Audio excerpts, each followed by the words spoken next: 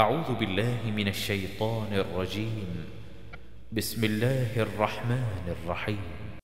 موسیٰ بن اسماعیل ابو عوانہ عاصم و حسین اکرمہ ابن عباس رضی اللہ تعالی عنہما سے روایت کرتے ہیں۔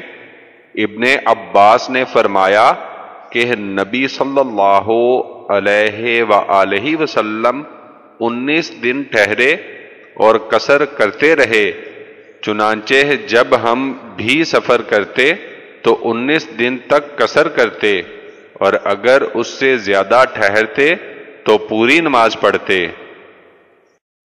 ابو معمر عبد الوارث یحییٰ بن ابی اسحاق روایت کرتے ہیں کہ میں نے انس کو کہتے ہوئے سنا کہ ہم نبی صلی اللہ علیہ وآلہ وسلم کے ساتھ مدینہ سے مکہ کی طرف نکلے تو دو رکت پڑھتے۔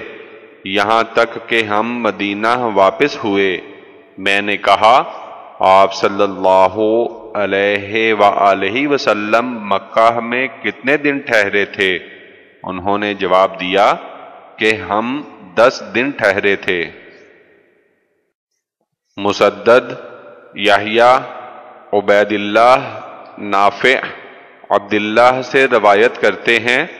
عبداللہ نے بیان کیا کہ میں نے نبی صلی اللہ علیہ وآلہ وسلم کے ساتھ اور ابو بکر رضی اللہ تعالی عنہ اور عمر رضی اللہ تعالی عنہ اور عثمان رضی اللہ تعالی عنہ کی خلافت کے ابتدائی دور میں منع میں دو رکتیں پڑھیں، پھر عثمان پوری نماز پڑھنے لگے۔ ابو الولید، شعبہ، ابو اسحاق، حارثہ، وہب سے روایت کرتے ہیں۔ وہب نے بیان کیا کہ ہم لوگوں کو نبی صلی اللہ علیہ وآلہ وسلم نے منع میں، حالت امن میں دو رکت نماز پڑھائی۔ قطبہ عبد الواحد بن زیاد آمش ابراہیم عبد الرحمن بن یزید سے روایت کرتے ہیں۔ عبد الرحمن بن یزید نے بیان کیا کہ ہم لوگوں کو عثمان بن عفان نے منع میں چار رکت نماز پڑھائی۔ اس کے متعلق عبداللہ بن مسعود رضی اللہ تعالی عنہما سے بیان کیا تو انہوں نے ان للہ و انا الیہ راجعون پڑھا۔ پھر فرمایا کہ میں نے رسول اللہ صلی اللہ علیہ وسلم کے ساتھ منا میں دو رکت پڑھیں اور ابو بکر رضی اللہ تعالی عنہ کے ساتھ منا میں دو رکت پڑھیں اور عمر بن خطاب رضی اللہ تعالی عنہ کے ساتھ منا میں دو رکت پڑھیں۔ کاش ان چار رکتوں میں سے دو مقبول رکتیں ہمارے حصہ میں تھیں۔ موسا بن اسماعیل بحیب، ایوب، عالیہ، برا، ابن عباس رضی اللہ تعالی عنہما سے روایت کرتے ہیں۔ ابن عباس نے بیان کیا کہ نبی صلی اللہ علیہ وآلہ وسلم اور ان کے ساتھ ذوالحجہ کی چوتھی کی صبح کو حج کے تلبیہ کہتے ہوئے تو ان لوگوں کو حکم دیا گیا کہ اس کو عمرہ بنا لیں، مگر وہ شخص جس کے ساتھ قربانی کا جانور ہو۔ عطا نے جابر سے اس کے مطابق حدیث روایت کی ہے۔ اسحاق نے ہم سے بیان کیا کہ میں نے ابو اسامہ سے پوچھا، کیا تم سے عبید اللہ نے بسند نافع ابن عمر رضی اللہ تعالی عنہ روایت کیا کہ نبی صلی اللہ علیہ وآلہ وسلم نے فرمایا کہ عورت تین دن کا سفر نہ کرے بجز اس صورت کے کہ اس کا کوئی محرم رشتہ دار ساتھ ہو۔ مسدد یاہیا عبید اللہ نافع ابن عمر رضی اللہ تعالی عنہ سے اور وہ نبی صلی اللہ علیہ و وسلم سے روایت کرتے ہیں کہ آپ نے فرمایا کہ کوئی عورت تین دن کا سفر نہ کرے، مگر یہ کہ اس کا ایسا رشتہ دار ساتھ ہو جس سے نکاح حرام ہے۔ احمد نے بروایت عبداللہ بن مبارک عبید اللہ نافع ابن عمر رضی اللہ تعالی عنہ نبی صلی اللہ علیہ وآلہ وسلم سے اس کے مطابق حدیث روایت کی ہے۔ آدم ابن ابی زعب مقبری مقبری کے والد ابو حریرہ رضی اللہ تعالی عنہ سے روایت کرتے ہیں۔ انہوں نے کہا کہ نبی صلی اللہ علیہ وآلہ وسلم نے فرمایا کہ اللہ تعالی اور یوم آخرت پر ایمان رکھنے والی کسی عورت کے لیے حلال نہیں کہ ایک رات کا سفر کرے۔ اس حال میں کہ اس کے ساتھ اس کا کوئی رشتہ دار نہ ہو، جس سے نکاح حرام ہے۔ یاہیا بن ابی کثیر اور سہل اور مالک نے مقبوری سے انہوں نے ابو حریرہ رضی اللہ تعالی عنہ سے اس کے مطابق حدیث روایت کی ہے۔ ابو نعیم، سفیان، محمد بن منقدر، ابراہیم بن میسرہ، انس بن مالک رضی اللہ تعالی عنہ سے روایت کرتے ہیں۔ انس بن مالک رضی اللہ تعالی عنہ نے بیان کیا کہ میں نے رسول اللہ صلی اللہ علیہ وسلم کے ساتھ مدینہ میں ظہر کی چار رکتیں اور عصر کی ذیل حلیفہ میں دو رکتیں پڑھیں۔ عبداللہ بن محمد، سفیان، زہری، عروہ عائشہ رضی اللہ تعالی عنہا سے روایت کرتے ہیں۔ عائشہ رضی اللہ تعالی عنہا نے بیان کیا کہ نماز پہلے دو رکت فرض کی گئی تھی، پھر سفر کی نماز قائم رہی اور حضر کی نماز پوری کر دی گئی۔ میں نے عرواہ سے کہا کہ عائشہ رضی اللہ تعالی عنہا کا کیا حال ہے؟ تو انہوں نے کہا کہ عائشہ رضی اللہ تعالی عنہا نے تعویل کی ہے۔ جیسا کہ عثمان رضی اللہ تعالی عنہ نے تعویل کی۔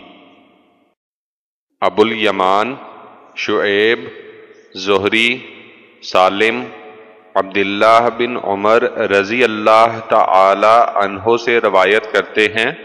عبداللہ بن عمر رضی اللہ تعالی عنہ نے بیان کیا کہ میں نے رسول اللہ صلی اللہ علیہ وسلم کو دیکھا کہ جب آپ صلی اللہ علیہ وآلہ وسلم کو سفر میں جلدی پہنچنا ہوتا تو مغرب میں تاخیر کرتے، یہاں تک کہ مغرب اور عشاء دونوں کو ملا کر پڑھتے اور سالم نے بیان کیا کہ عبداللہ بن عمر رضی اللہ تعالی عنہ بھی یہی کرتے تھے، جب انہیں جلدی پہنچنا ہوتا اور لیس نے اس زیادتی کے ساتھ بیان کیا کہ مجھ سے یونس نے اور انہوں نے ابن شہاب سے اور انہوں نے سالم سے کہ ابن عمر رضی اللہ تعالی عنہ مغرب اور عشاء کی نماز مزدلفہ میں ایک ساتھ پڑھتے اور سالم نے بیان کیا کہ ابن عمر رضی اللہ تعالی عنہ نے جبکہ ان کی بیوی صفیہ بنت ابی عبید کی علالت شدید کی خبر ملی تھی۔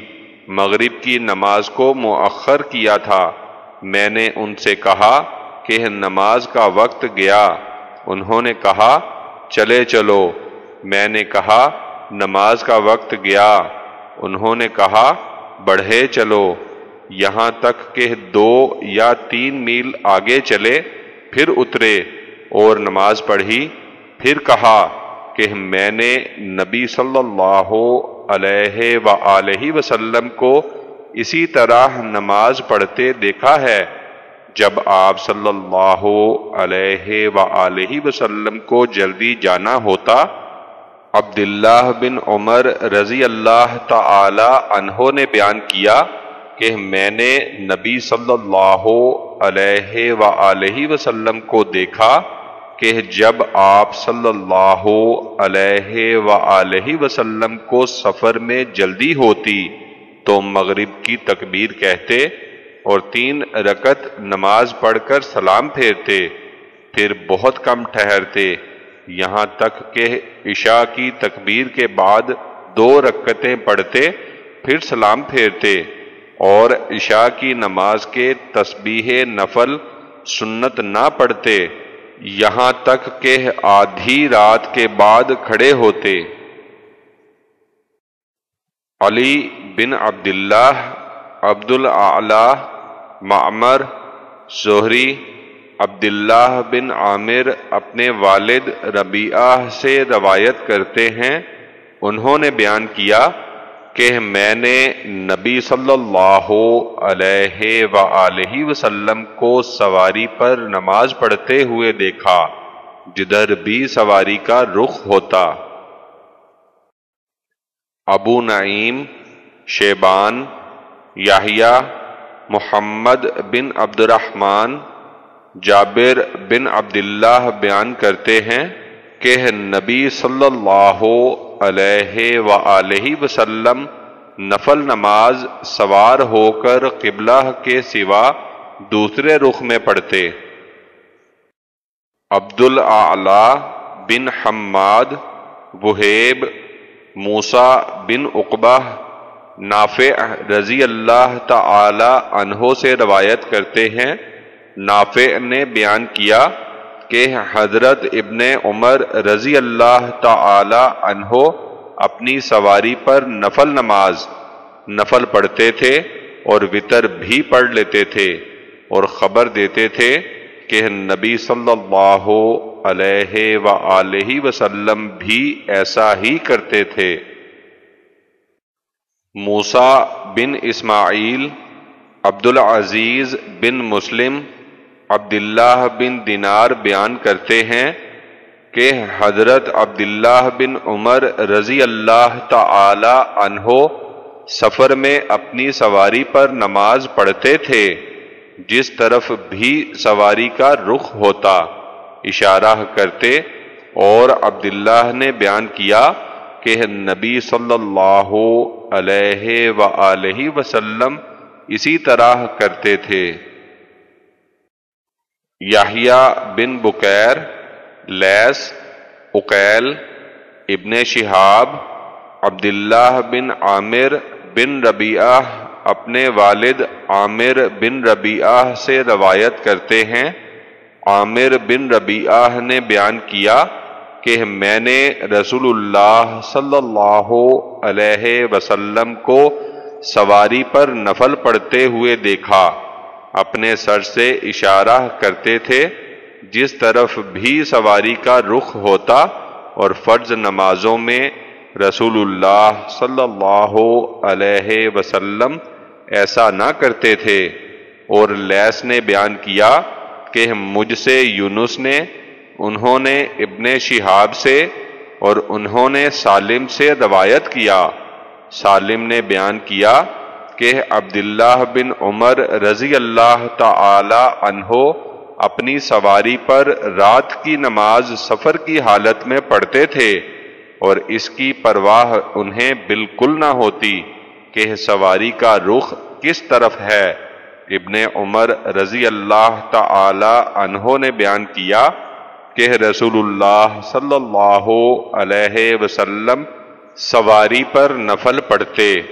جس طرف سواری کا رخ ہوتا اور اس پر وطر بھی پڑھتے مگر یہ کہ فرض نماز سواری پر نہ پڑھتے معاذ بن فضالہ، ہشام یاہیا محمد بن عبد الرحمن بن صوبان، جابر بن عبداللہ سے روایت کرتے ہیں، انہوں نے بیان کیا کہ نبی صلی اللہ علیہ و وسلم سواری پر مشرق کی طرف منہ کر کے نماز پڑھتے اور جب ارادہ کرتے کہ فرد نماز پڑھیں تو اترتے اور قبلہ رخ ہو جاتے۔ احمد بن سعید، حبان، حمام، انس بن سیرین سے روایت کرتے ہیں انس بن سیرین نے بیان کیا کہ جب انس شام سے آئے تو ہم ان کے استقبال کے لیے گئے، چنانچہ ہم ان سے اینت تمر میں ملے۔ میں نے ان کو گدھے پر نماز پڑھتے دیکھا اور چہرہ ان کا اس جانب یعنی قبلہ سے بائیں طرف تھا۔ میں نے ان سے کہا کہ میں نے آپ صلی اللہ علیہ و وسلم کو غیر قبلہ کی طرف منہ کر کے نماز پڑھتے دیکھا تو انہوں نے جواب دیا کہ اگر میں رسول اللہ صلی اللہ علیہ وسلم کو اس طرح کرتے نہ دیکھتا تو میں ایسا نہ کرتا۔ تاہمان نے اس حدیث کو بطریق حجاج انس بن سیرین، انس نبی صلی اللہ علیہ و وسلم سے روایت کیا ہے۔ یاہیا بن سلیمان، ابن وہب، عمر بن محمد حفظ بن عاصم بیان کرتے ہیں کہ ابن عمر رضی اللہ تعالی عنہ نے سفر کیا تو فرمایا کہ میں نبی صلی اللہ علیہ و وسلم کے ساتھ رہا تو میں نے آپ صلی اللہ علیہ و وسلم کو سفر میں نفل نماز پڑھتے ہوئے نہیں دیکھا اور اللہ تعالی نے فرمایا کہ تمہارے لیے اللہ کے رسول میں بہترین نمونہ ہے۔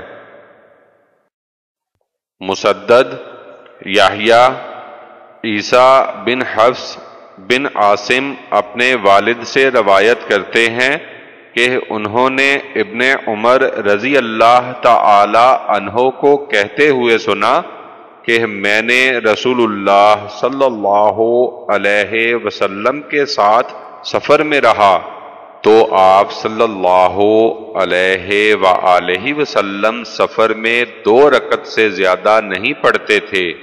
اور ابو بکر رضی اللہ تعالی عنہ اور عمر رضی اللہ تعالی عنہ اور عثمان رضی اللہ تعالی عنہ بھی اسی طرح کرتے تھے۔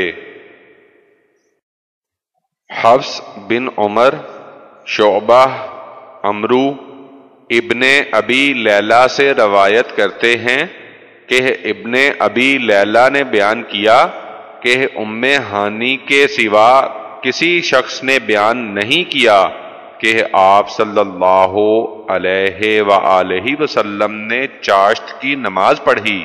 ام ہانی نے بیان کیا کہ فتح مکہ کے دن آپ صلی اللہ علیہ و وسلم نے ان کے گھر میں غسل کیا، پھر آٹھ رکت پڑھی میں نے آپ صلی اللہ علیہ و وسلم کو کوئی نماز اس سے ہلکی پڑھتے نہیں دیکھا، بجز اس کے کہ آپ صلی اللہ علیہ و وسلم رکوع و سجود کو پورا کرتے تھے اور لیس نے بیان کیا کہ مجھ سے یونس نے، انہوں نے ابن شہاب سے، ابن شہاب نے عبداللہ بن عامر سے انہوں نے اپنے والد سے روایت کیا کہ انہوں نے نبی صلی اللہ علیہ و وسلم کو سفر میں رات کو نفل نماز سواری کی پیٹھ پر پڑتے ہوئے دیکھا۔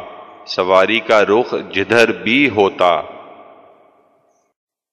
ابو الیمان شعیب، زہری، سالم بن عبداللہ ابن عمر رضی اللہ تعالی عنہما سے روایت کرتے ہیں کہ رسول اللہ صلی اللہ علیہ وسلم سواری کی پیٹھ پر نفل نماز پڑھتے تھے۔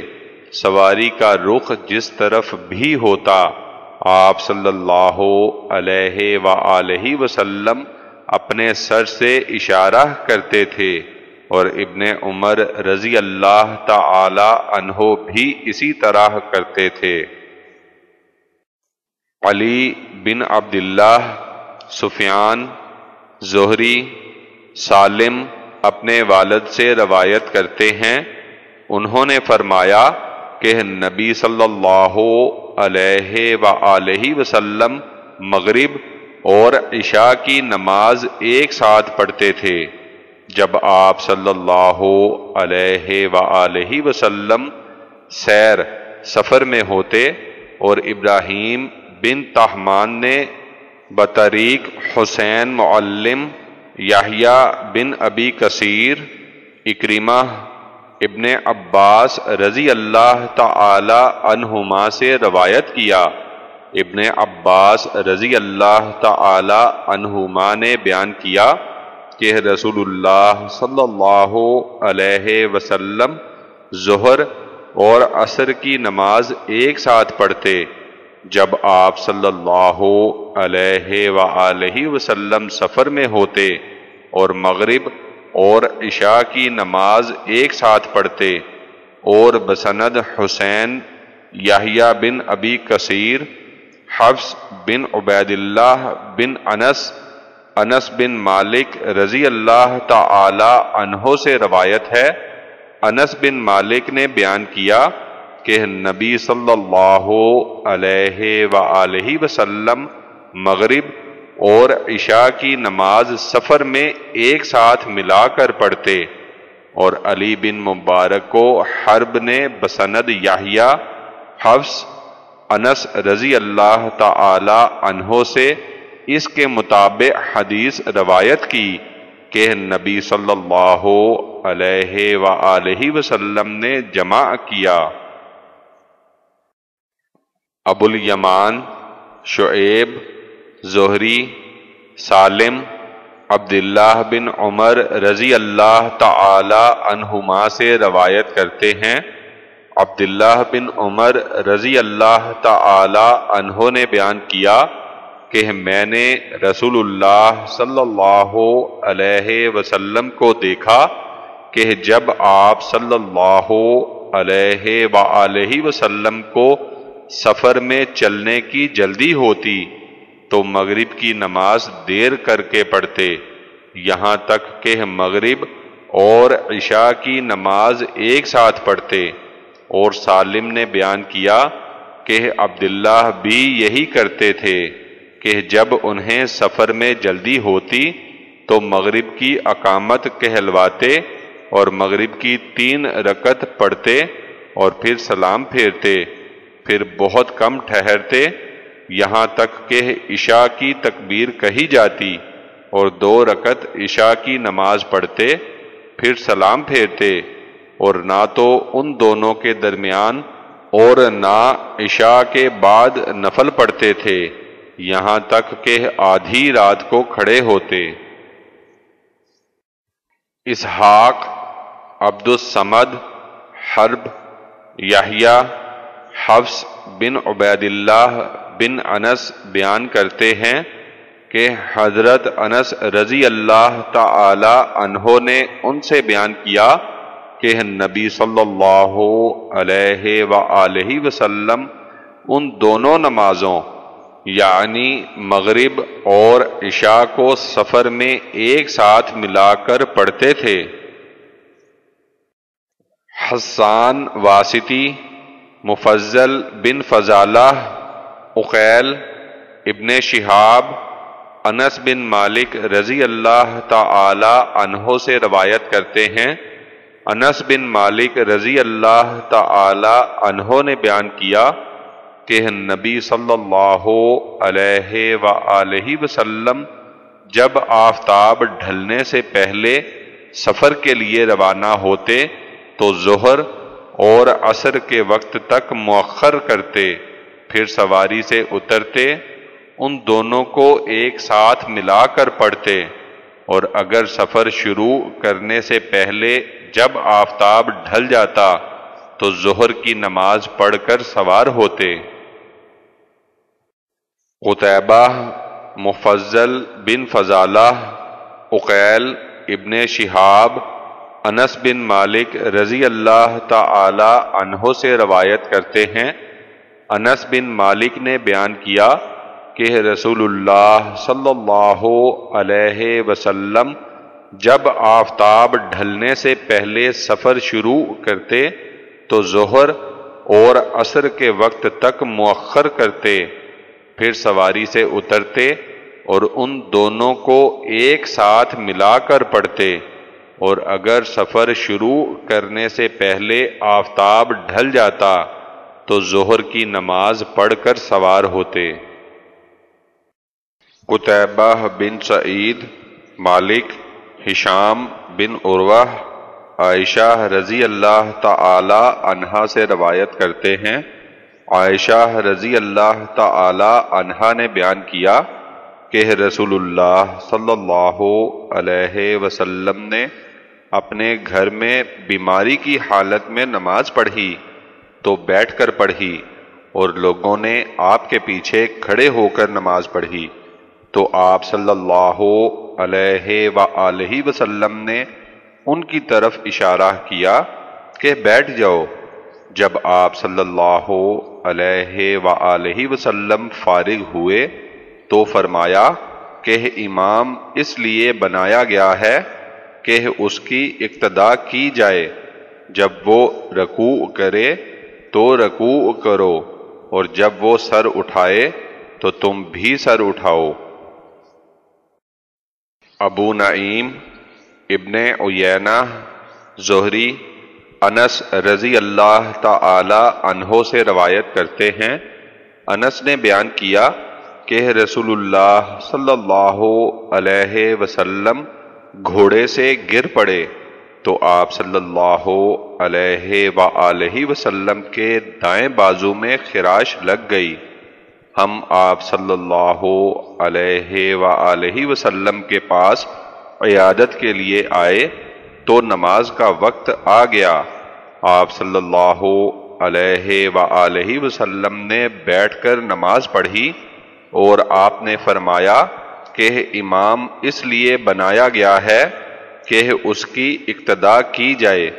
جب وہ تکبیر کہے تو تم بھی تکبیر کہو اور جب رکوع کرے تو تم بھی رکوع کرو اور وہ سر اٹھائے تو تم بھی سر اٹھاؤ۔ اور جب سمیع اللہ لمن حمیدہ کہے، تو تم ربنا ولک الحمد کہو۔ اسحاق بن منصور، روح بن عبادہ، حسین، عبداللہ بن بریدہ، عمران بن حسین رضی اللہ تعالی عنہ سے روایت کرتے ہیں۔ کہ انہوں نے نبی صلی اللہ علیہ و وسلم سے سوال کیا، اسحاق عبد السمد کے والد حسین ابن بریدہ عمران بن حسین رضی اللہ تعالی عنہ سے روایت کرتے ہیں، جو بواسیر کے مریض تھے، انہوں نے بیان کیا۔ کہ میں نے رسول اللہ صلی اللہ علیہ وسلم سے بیٹھ کر نماز پڑھنے کے متعلق دریافت کیا تو آپ صلی اللہ علیہ و وسلم نے فرمایا کہ اگر کھڑے ہو کر پڑھے تو بہتر ہے اور جس نے بیٹھ کر نماز پڑھی تو اس کو کھڑے ہو کر نماز پڑھنے والے کا نصف اجر ملے گا اور جس نے لیٹ کر پڑھی تو اس کو بیٹھ کر پڑھنے والے کا نصف اجر ملے گا۔ ابو معمر عبد الوارث حسین معلم، عبداللہ بن بریدہ، عمران بن حسین جو بواسیر کے مریض تھے اور ایک بار ابو معمر نے عمران سے روایت کیا۔ عمران نے کہا کہ میں نے نبی صلی اللہ علیہ و وسلم سے بیٹھ کر نماز پڑھنے کے متعلق دریافت کیا تو آپ صلی اللہ علیہ و وسلم نے فرمایا کہ جس نے کھڑے ہو کر نماز پڑھی وہ افضل ہے اور جس نے بیٹھ کر نماز پڑھی تو اس کو کھڑے ہو کر نماز پڑھنے کا نصف اجر ملے گا اور جس نے سو کر نماز پڑھی تو اس کے لیے بیٹھ کر نماز پڑھنے والے کا نصف اجر ملے گا۔ ابو عبداللہ بخاری نے کہا کہ میرے خیال میں نائمہ سے یہاں مراد مز تاجی ان ہے۔ ابدان عبداللہ ابراہیم بن تاہمان حسین ابن بریدہ عمران بن حسین رضی اللہ تعالی عنہ سے روایت کرتے ہیں کہ عمران بن حسین نے بیان کیا کہ مجھ کو بواسیر کا مرض تھا تو میں نے نبی صلی اللہ علیہ و وسلم سے نماز کے متعلق دریافت کیا تو آپ صلی اللہ علیہ و وسلم نے فرمایا کہ کھڑے ہو کر پڑھ۔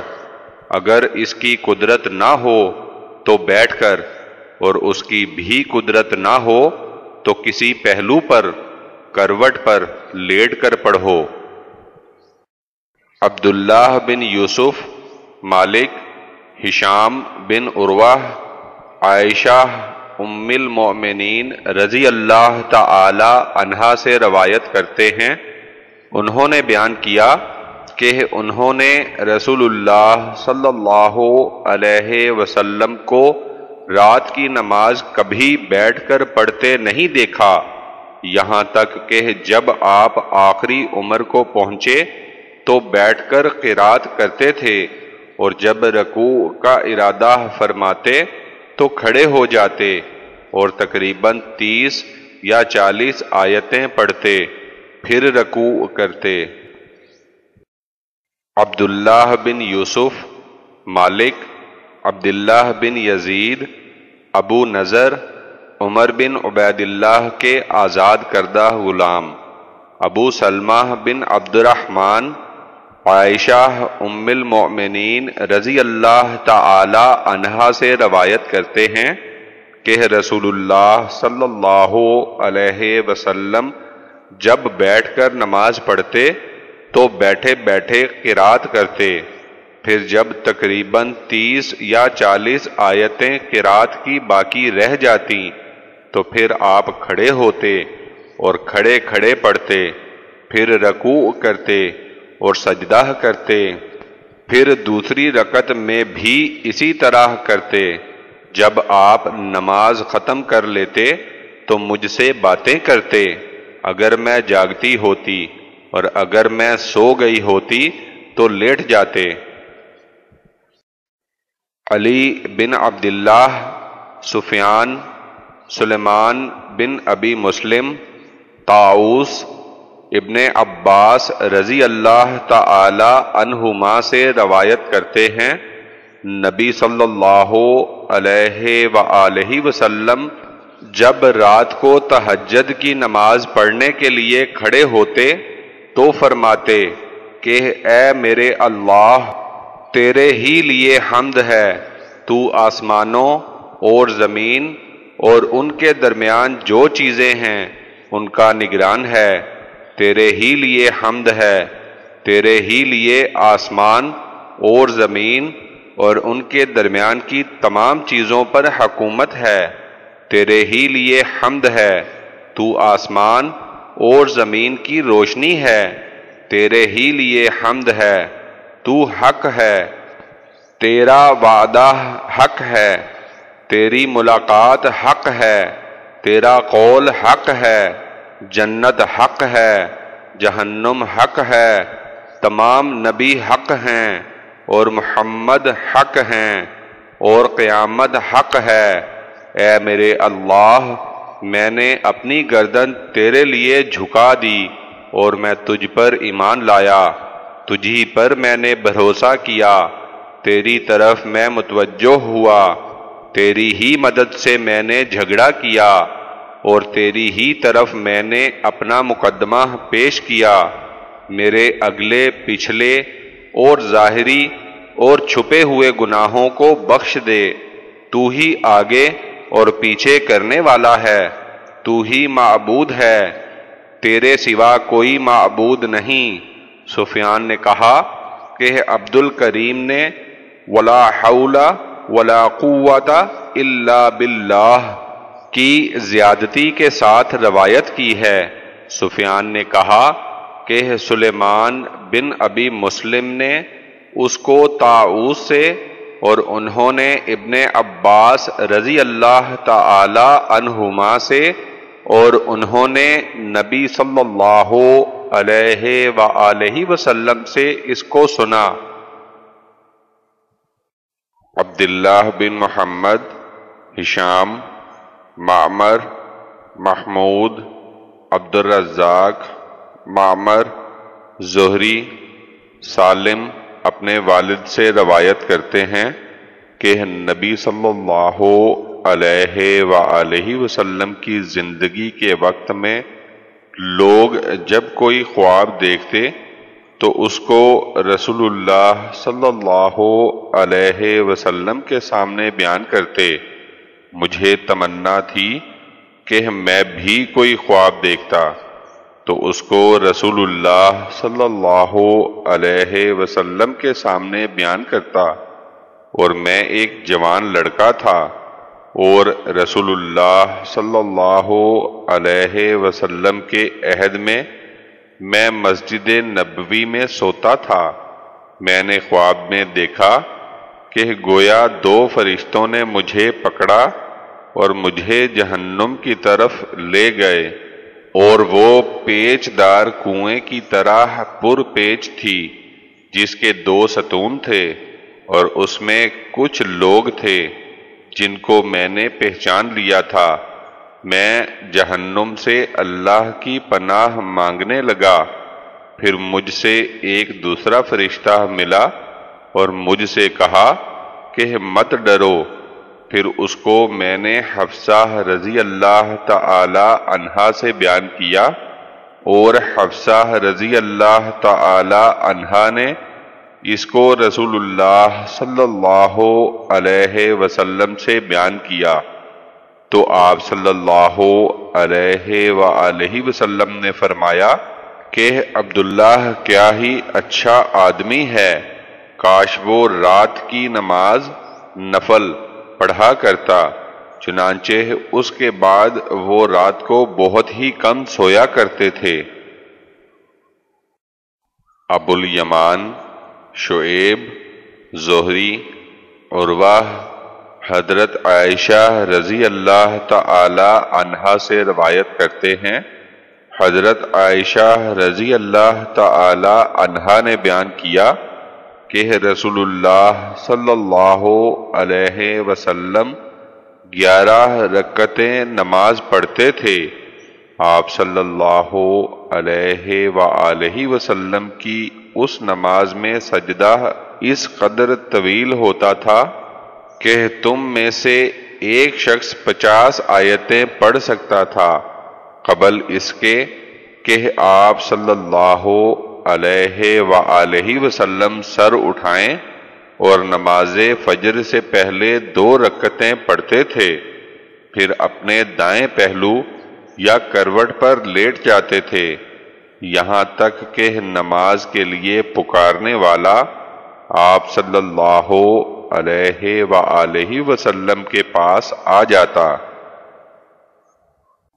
ابو نعیم، سفیان اسود جندب سے روایت کرتے ہیں کہ جندب نے کہا کہ نبی صلی اللہ علیہ وآلہ وسلم بیمار ہوئے تو ایک یا دو رات کھڑے نہیں ہوئے۔ محمد بن کثیر، سفیان، اسود بن قیس، جندب بن عبداللہ رضی اللہ تعالی عنہ سے روایت کرتے ہیں۔ انہوں نے بیان کیا کہ جبرائیل علیہ السلام نبی صلی اللہ علیہ وآلہ وسلم کے پاس آنے سے رک گئے۔ تو قریش کی ایک عورت نے کہا کہ اس کے شیطان نے تاخیر کی، تو اس پر یہ آیت اتری۔ ودحا واللیلی اذا سجا ما ودعاکا ربو کا وما قلا۔ الخ یعنی قسم ہے چاشت کے وقت کی اور قسم ہے رات کی جب چھا جائے۔ تم کو تمہارے رب نے نہ تو چھوڑا اور نہ اس نے دشمنی کی۔ ابن مقاتل عبداللہ معمر، زہری، ہند بنت حارث، ام سلمہ رضی اللہ تعالی عنہا سے روایت کرتی ہیں کہ نبی صلی اللہ علیہ وآلہ وسلم ایک رات جاگے تو فرمایا، سبحان اللہ، کیا کیا آزمائش کی چیزیں اور کیا کیا خزانے رات کو اتارے گئے؟ کوئی شخص ہے جو ان حجرہ والی عورتوں کو جگا دے؟ بہت سی عورتیں دنیا میں کپڑے پہنے ہوئے ہیں، لیکن آخرت میں ننگی ہوں گی۔ ابو الیمان، شعیب، زہری، علی بن حسین حسین بن علی علی بن ابی طالب رضی اللہ تعالی عنہ سے روایت کرتے ہیں کہ انہوں نے بیان کیا کہ رسول اللہ صلی اللہ علیہ وسلم ایک شب ان کے پاس آئے اور فاطمہ بنت نبی صلی اللہ علیہ وآلہ وسلم کے پاس آئے تو فرمایا کہ تم دونوں نماز کیوں نہیں پڑھتے؟ میں نے کہا کہ یا رسول اللہ صلی اللہ علیہ وسلم، ہماری جانیں اللہ کے قبضہ میں ہیں۔ جب وہ ہمیں اٹھانا چاہے گا تو ہم اٹھیں گے۔ جب ہم لوگوں نے کہا تو آپ صلی اللہ علیہ وآلہ وسلم لوٹ گئے۔ اور ہم لوگوں کی طرف کچھ بھی متوجہ نہ ہوئے۔ پھر میں نے سنا کہ آپ صلی اللہ علیہ وآلہ وسلم پیٹ پھیر رہے تھے، ران پر ہاتھ مارا اور فرمایا، انسان تمام چیز سے زیادہ جگڑالو ہے۔ عبداللہ بن یوسف، مالک، ابن شہاب عروہ عائشہ رضی اللہ تعالی عنہا سے روایت کرتے ہیں۔ عائشہ رضی اللہ تعالی عنہا نے فرمایا کہ رسول اللہ صلی اللہ علیہ وسلم کسی کام کو چھوڑ دیتے تھے۔ حالانکہ وہ عمل آپ صلی اللہ علیہ وآلہ وسلم کو محبوب ہوتا تھا۔ لیکن اس خوف سے چھوڑ دیتے تھے کہ کہیں لوگ اس پر عمل کرنے لگیں اور وہ فرض نہ ہو جائے۔ اور رسول اللہ صلی اللہ علیہ وسلم نے چاشت کی نماز کبھی نہیں پڑھی اور میں پڑھتی ہوں۔ عبداللہ بن یوسف، مالک، شہاب عروہ بن زبیر، ام المؤمنین حضرت عائشہ رضی اللہ تعالی عنہا سے روایت کرتے ہیں کہ حضرت عائشہ رضی اللہ تعالی عنہا نے کہا کہ رسول اللہ صلی اللہ علیہ وسلم نے ایک رات مسجد میں نماز پڑھی تو آپ صلی اللہ علیہ وآلہ وسلم کے ساتھ لوگوں نے بھی پڑھی۔ پھر دوسری رات میں آپ صلی اللہ علیہ وآلہ وسلم نے نماز پڑھی تو لوگوں کی تعداد زیادہ ہو گئی۔ پھر تیسری یا چوتھی رات کو لوگ جمع ہوئے تو رسول اللہ صلی اللہ علیہ وسلم ان کے پاس نہیں آئے۔ جب صبح ہوئی تو آپ صلی اللہ علیہ وآلہ وسلم نے فرمایا کہ میں نے اس چیز کو دیکھا جو تم نے کیا اور مجھے باہر آنے سے کسی چیز نے نہیں روکا بجز اس خوف کے کہ کبھی تم پر فرض نہ ہو جائے۔ ابو نعیم مسعر زیاد مغیرہ سے روایت کرتے ہیں کہ میں نے ان کو کہتے ہوئے سنا کہ نبی صلی اللہ علیہ وآلہ وسلم کھڑے ہوتے تھے تاکہ نماز پڑھیں۔ یہاں تک کہ دونوں پاؤں یا دونوں پنڈلیاں پھول جاتی اس کے متعلق آپ صلی اللہ علیہ وآلہ وسلم سے کہا جاتا کہ آپ صلی اللہ علیہ وآلہ وسلم اتنی تکلیف کیوں کرتے ہیں؟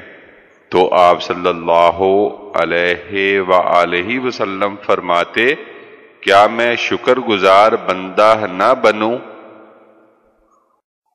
علی بن عبداللہ سفیان، عمرو بن دینار، عمرو بن اوس عبداللہ بن عمرو بن آس سے روایت کرتے ہیں کہ عبداللہ بن عمرو نے بیان کیا کہ رسول اللہ صلی اللہ علیہ وسلم نے ان سے فرمایا، اللہ کے نزدیک سب سے زیادہ پسندیدہ نماز داؤد علیہ السلام کی نماز ہے۔ کہ اللہ کے نزدیک سب سے زیادہ پسندیدہ روزہ داؤد علیہ السلام کا روزہ ہے۔ وہ نصف رات سوتے تھے، تہائی رات جاگتے تھے اور چھٹا حصہ سوتے تھے اور ایک دن روزہ رکھتے اور ایک دن افطار کرتے۔ ابدان ابدان کے والد شعبہ اشعث اپنے والد سے روایت کرتے ہیں کہ انہوں نے مسروق سے سنا کہ میں نے حضرت عائشہ رضی اللہ تعالی عنہا سے پوچھا، کون سا عمل نبی صلی اللہ علیہ وآلہ وسلم کو زیادہ پسند تھا؟ انہوں نے جواب دیا، جس پر مداو مت کی جائے۔ میں نے پوچھا رات کو کس وقت اٹھتے تھے؟ انہوں نے جواب دیا، جب مرغ کی آواز سنتے تو اٹھتے تھے۔ محمد بن سلام، ابو الاحوس سے روایت کرتے ہیں۔ اشعث نے بیان کیا کہ جب مرغ کی آواز سنتے تو اٹھ کر نماز پڑھتے تھے۔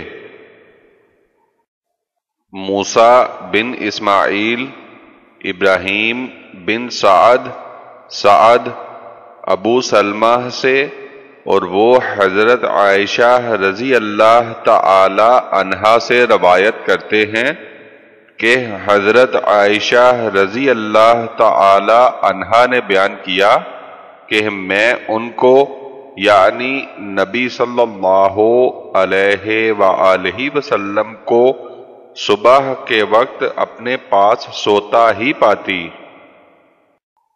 یا عقوب بن ابراہیم، روح، سعید، قطادہ، انس بن مالک رضی اللہ تعالی عنہ سے روایت کرتے ہیں کہ نبی صلی اللہ علیہ وآلہ وسلم اور زید بن ثابت نے سحری کھائی۔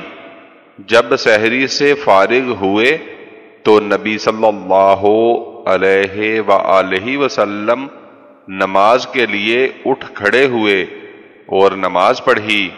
میں نے انس سے پوچھا کہ ان دونوں کے سحری سے فراغت اور نماز میں داخل ہونے کے درمیان کتنا فصل تھا؟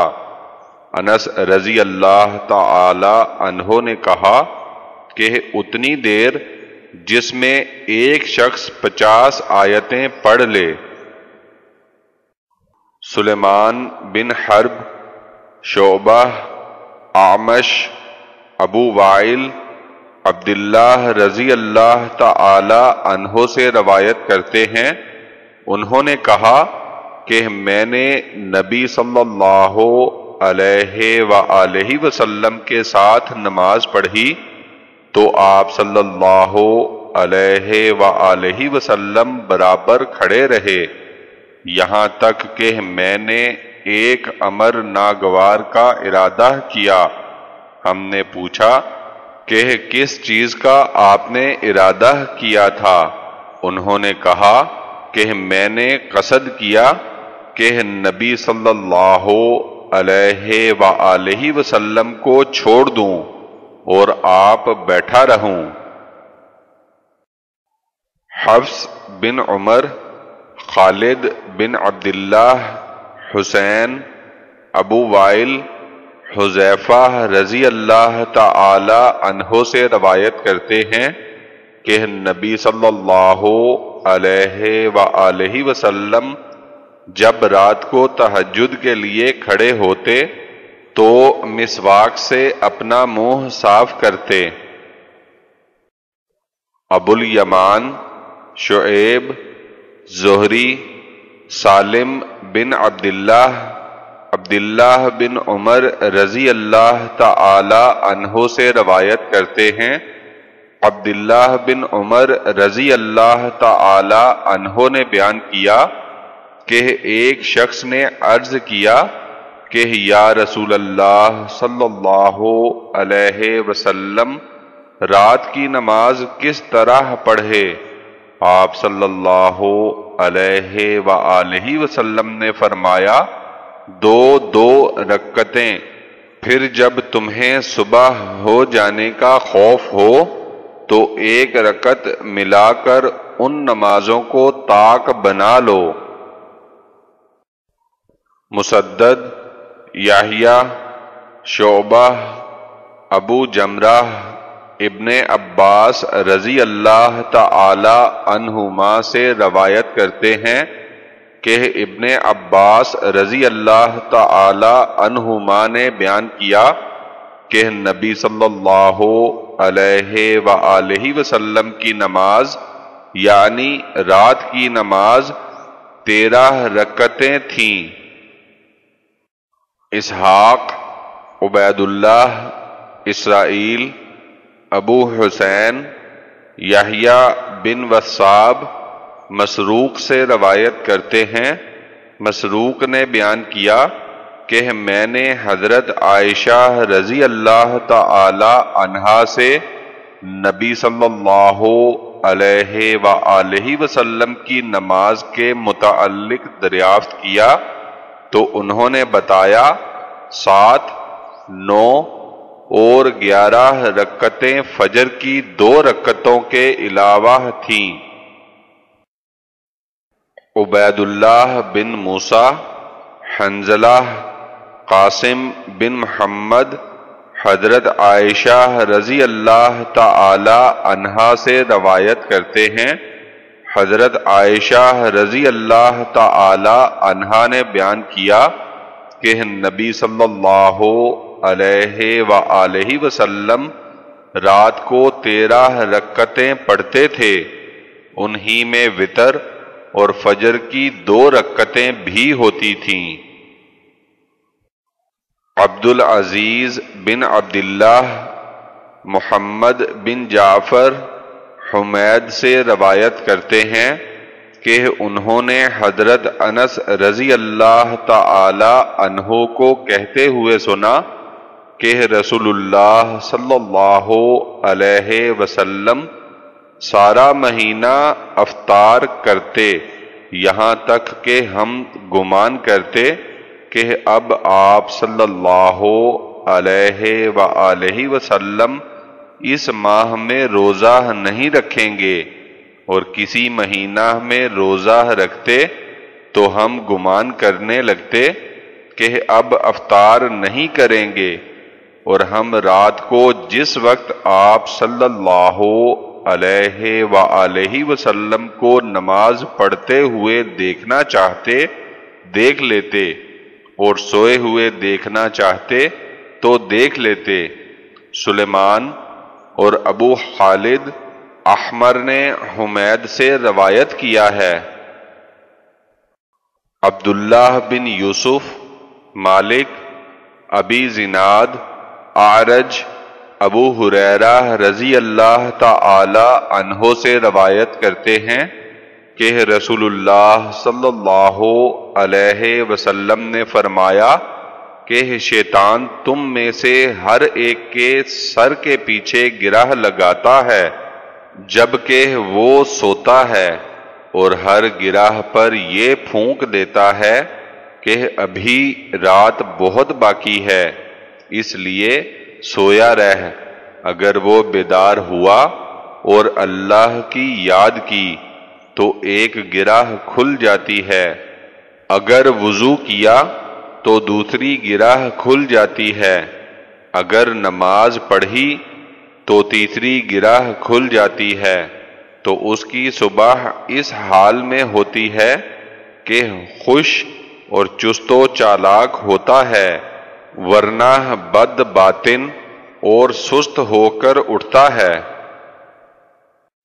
معمل بن ہشام، اسماعیل اوف ابو رجا سمراہ بن جندب رضی اللہ تعالی عنہ خواب والی حدیث میں بیان کرتے ہیں کہ رسول اللہ صلی اللہ علیہ وسلم نے فرمایا کہ جس کا سر پتھر سے کچلا جاتا ہے، وہ شخص ہے جو قرآن یاد کرتا ہے، پھر اسے چھوڑ دیتا ہے۔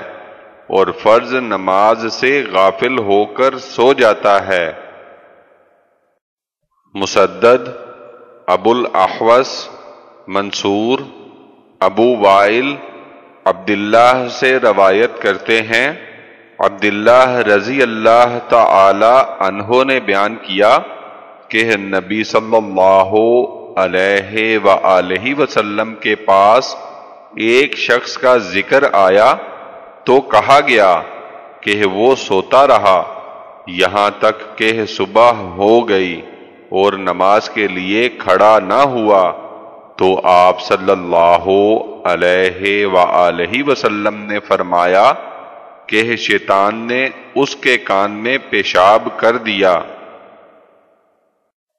عبداللہ بن مسلمہ، مالک ابن شہاب، ابو سلمہ ابو عبداللہ ابو حریرہ رضی اللہ تعالی عنہ سے روایت کرتے ہیں کہ رسول اللہ صلی اللہ علیہ وسلم نے فرمایا کہ ہمارا رب تبارک و تعالی ہر رات کو آسمان دنیا کی طرف اترتا ہے، جس وقت کے آخری تہائی رات باقی رہتی ہے۔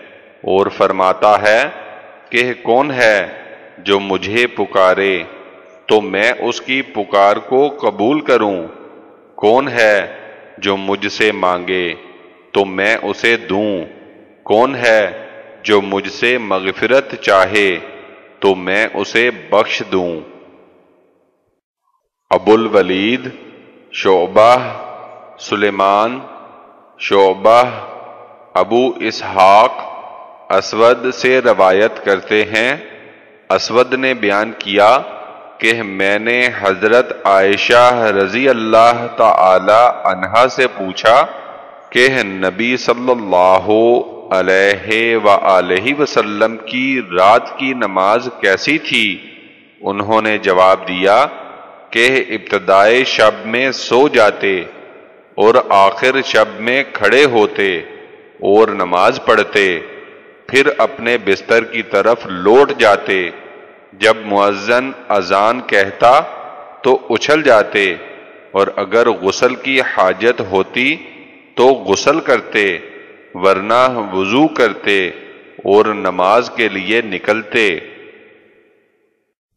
عبداللہ بن یوسف، مالک، سعید بن ابی سعید مقبری ابو سلمہ بن عبد الرحمن رضی اللہ تعالی عنہ روایت کرتے ہیں کہ ابو سلمہ نے رسول اللہ صلی اللہ علیہ وسلم کی نماز کے متعلق عائشہ رضی اللہ تعالی عنہا سے پوچھا کہ رمضان میں آپ صلی اللہ علیہ و وسلم کی نماز کیسی تھی؟ تو انہوں نے جواب دیا کہ رمضان میں اور دوسرے مہینوں میں رسول اللہ صلی اللہ علیہ وسلم گیارہ رکتوں سے زیادہ کبھی نہ پڑھتے تھے۔ چار رکت ایسے پڑھتے کہ ان کی اچھائی اور درازی سے تو پوچھو نہیں کہ کیسی عمدہ اور طویل نماز ہوتی تھی۔ پھر چار رکتیں پڑھتے اور یہ نہ پوچھو کہ کیسی عمدہ اور طویل رکتیں ہوتی تھیں۔ پھر تین رکت نماز پڑھتے۔ حضرت عائشہ رضی اللہ تعالی عنہا کا بیان ہے کہ میں نے عرض کیا، یا رسول اللہ صلی اللہ علیہ وسلم، کیا آپ صلی اللہ علیہ وآلہ وسلم وطر پڑھنے سے پہلے سو جاتے ہیں۔ آپ صلی اللہ علیہ وآلہ وسلم نے فرمایا کہ اے عائشہ، میری دونوں آنکھیں سوتی ہیں، لیکن میرا قلب نہیں سوتا۔ محمد بن مسنہ یاہیا بن سعید، ہشام عروہ حضرت عائشہ رضی اللہ تعالی عنہا سے روایت کرتے ہیں۔ حضرت عائشہ رضی اللہ تعالی عنہا نے بیان کیا کہ میں نے نبی صلی اللہ علیہ وآلہ وسلم کو رات کی نماز میں کچھ بھی بیٹھ کر کراط کرتے ہوئے نہیں سنا۔ یہاں تک کہ جب بڑھاپا آ گیا تو بیٹھ کر پڑھتے۔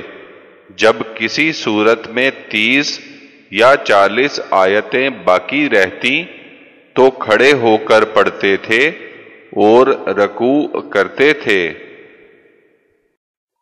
اسحاق بن نصر، ابو اسامہ، ابو حیان، ابو ذرا ابو حریرہ رضی اللہ تعالی عنہ سے روایت کرتے ہیں۔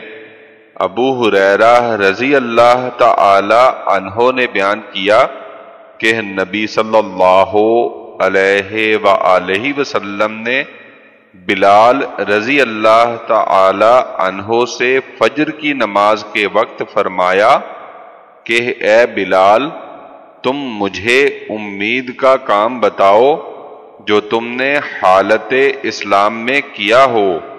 اس لیے کہ میں نے تمہارے جوتوں کی آواز جنت میں سنی ہے۔ بلال رضی اللہ تعالی عنہ نے جواب دیا کہ میں نے امید کا کام جو کیا وہ یہ ہے کہ رات یا دن کسی بھی ساعت میں میں نے پاکی حاصل کی، وضو کیا تو اس وضو سے میں نے جس قدر میرے مقدر میں تھا نماز پڑھی، ابو عبداللہ نے کہا، دف نعلیک سے مراد بلانا ہے۔ ابو معمر عبد الوارث عبد العزیز بن سہیب، انس بن مالک رضی اللہ تعالی عنہ سے روایت کرتے ہیں۔ انس رضی اللہ تعالی عنہ نے بیان کیا کہ ایک دفعہ نبی صلی اللہ علیہ وآلہ وسلم تشریف لائے تو دیکھا کہ دو ستونوں کے درمیان رسی کھینچی ہوئی ہے۔ تو آپ صلی اللہ علیہ و وسلم نے پوچھا کہ یہ رسی کیسی ہے؟ لوگوں نے بتایا کہ یہ زینب کی رسی ہے۔ جب وہ تکان محسوس کرتی ہیں تو اس کے ساتھ لٹک جاتی ہیں۔ نبی صلی اللہ علیہ وآلہ وسلم نے فرمایا، نہیں، اسے کھول دو۔ تم میں سے ہر شخص اپنی خوشی کے ساتھ نماز پڑھے۔ جب سستی معلوم ہو تو بیٹھ جائے۔ اسحاق یعقوب بن ابراہیم ابراہیم ابن شہاب، محمود رضی اللہ تعالی عنہ بن ربیع انصاری سے روایت کرتے ہیں کہ مجھ سے رسول اللہ صلی اللہ علیہ وسلم یاد ہیں اور وہ کلی بھی یاد ہے۔ جو میرے چہرے پر آپ صلی اللہ علیہ و وسلم نے ہمارے گھر کو کنویں سے لے کر کی تھی، انہوں نے کہا کہ میں نے اتبان بن مالک انصاری کو، جو رسول اللہ صلی اللہ علیہ وسلم کے ساتھ بدر میں شریک ہوئے تھے، کہتے ہوئے سنا کہ میں اپنی قوم بنی سالم کو نماز پڑھاتا تھا اور میرے درمیان اور ان کے درمیان ایک وادی حائل تھی اور جب بارش ہوتی تو میرے لیے ان کی مسجد کی طرف راستہ طے کر کے جانا دشوار ہوتا۔ میں رسول اللہ صلی اللہ علیہ وسلم کے پاس آیا اور عرض کیا کہ میری نگاہ کمزور ہے۔ اور وادی جو ہمارے اور ہماری قوم کے درمیان حائل ہے، جب بارش ہوتی ہے تو مجھ پر دشوار ہوتا ہے کہ راستہ طے کر کے وہاں پہنچوں۔ اس لیے میں چاہتا ہوں کہ آپ صلی اللہ علیہ و وسلم آئیں اور میرے مکان میں ایک جگہ پر نماز پڑھ لیں۔ کہ میں اس کو نماز کی جگہ بنا لوں۔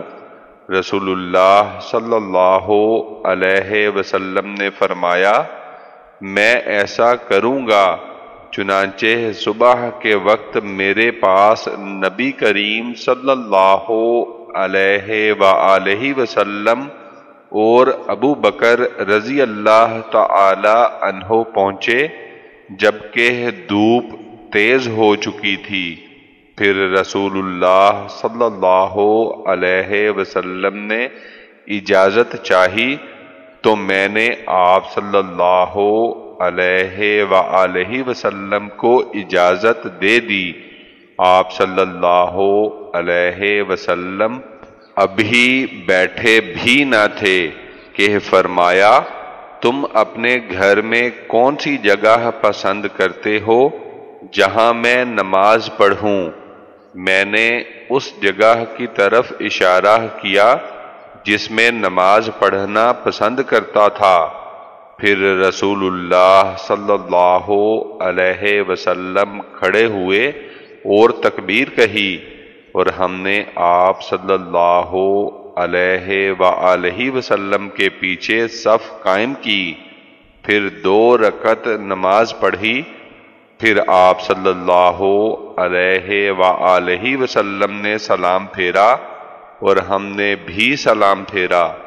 اور جب آپ صلی اللہ علیہ و وسلم سلام پھیر چکے تو میں آپ صلی اللہ علیہ و وسلم کو خزیرہ، ایک قسم کا کھانا پر روکا۔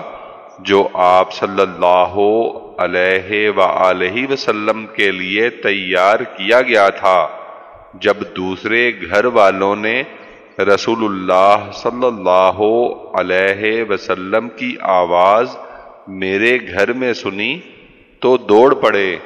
یہاں تک کہ گھر میں بہت زیادہ لوگ ہو گئے۔ تو ان میں سے ایک شخص نے کہا کہ مالک نے کیا کیا؟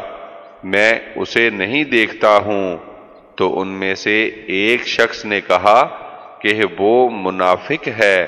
اللہ کے رسول سے اسے محبت نہیں۔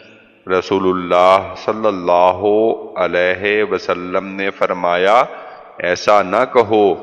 کیا تم نہیں دیکھتے کہ اس نے لا الہ الا اللہ کہا ہے؟ اس سے اللہ کی رضا چاہتا ہے تو اس نے کہا، اللہ اور اس کے رسول زیادہ جانتے ہیں، لیکن ہم تو واللہ اس کی محبت اور اس کی گفتگو منافقین ہی سے دیکھتے ہیں۔ رسول اللہ صلی اللہ علیہ وسلم نے فرمایا کہ اللہ نے جہنم پر اس شخص کو حرام کر دیا ہے۔ جو لا الہ الا اللہ کہے اور اس سے رضائے الہی چاہتا ہو۔ محمود نے بیان کیا کہ میں نے اس کو ایک جماعت سے بیان کیا جس میں رسول اللہ صلی اللہ علیہ وسلم کے صحابی ابو ایوب رضی اللہ تعالی عنہ بھی تھے اور اس جنگ میں بیان کیا جس میں انہوں نے وفات پائی اور اس وقت روم میں یزید بن معاویہ حاکم تھے۔ ابو ایوب نے ہماری اس حدیث کا انکار کیا اور کہا، واللہ، جو تو نے کہا، میرا خیال ہے رسول اللہ صلی اللہ علیہ وسلم نے نہیں کہا۔ یہ مجھے برا معلوم ہوا۔ اور میں نے اللہ کے لیے نظر مانی، کہا، اگر وہ مجھے صحیح و سالم رکھے، یہاں تک کہ میں اس غزوہ سے واپس ہو جاؤں، تو میں اس حدیث کے متعلق عطبان رضی اللہ تعالی عنہ بن مالک سے پوچھوں گا، اگر میں نے انہیں ان کی قوم کی مسجد میں زندہ پایا۔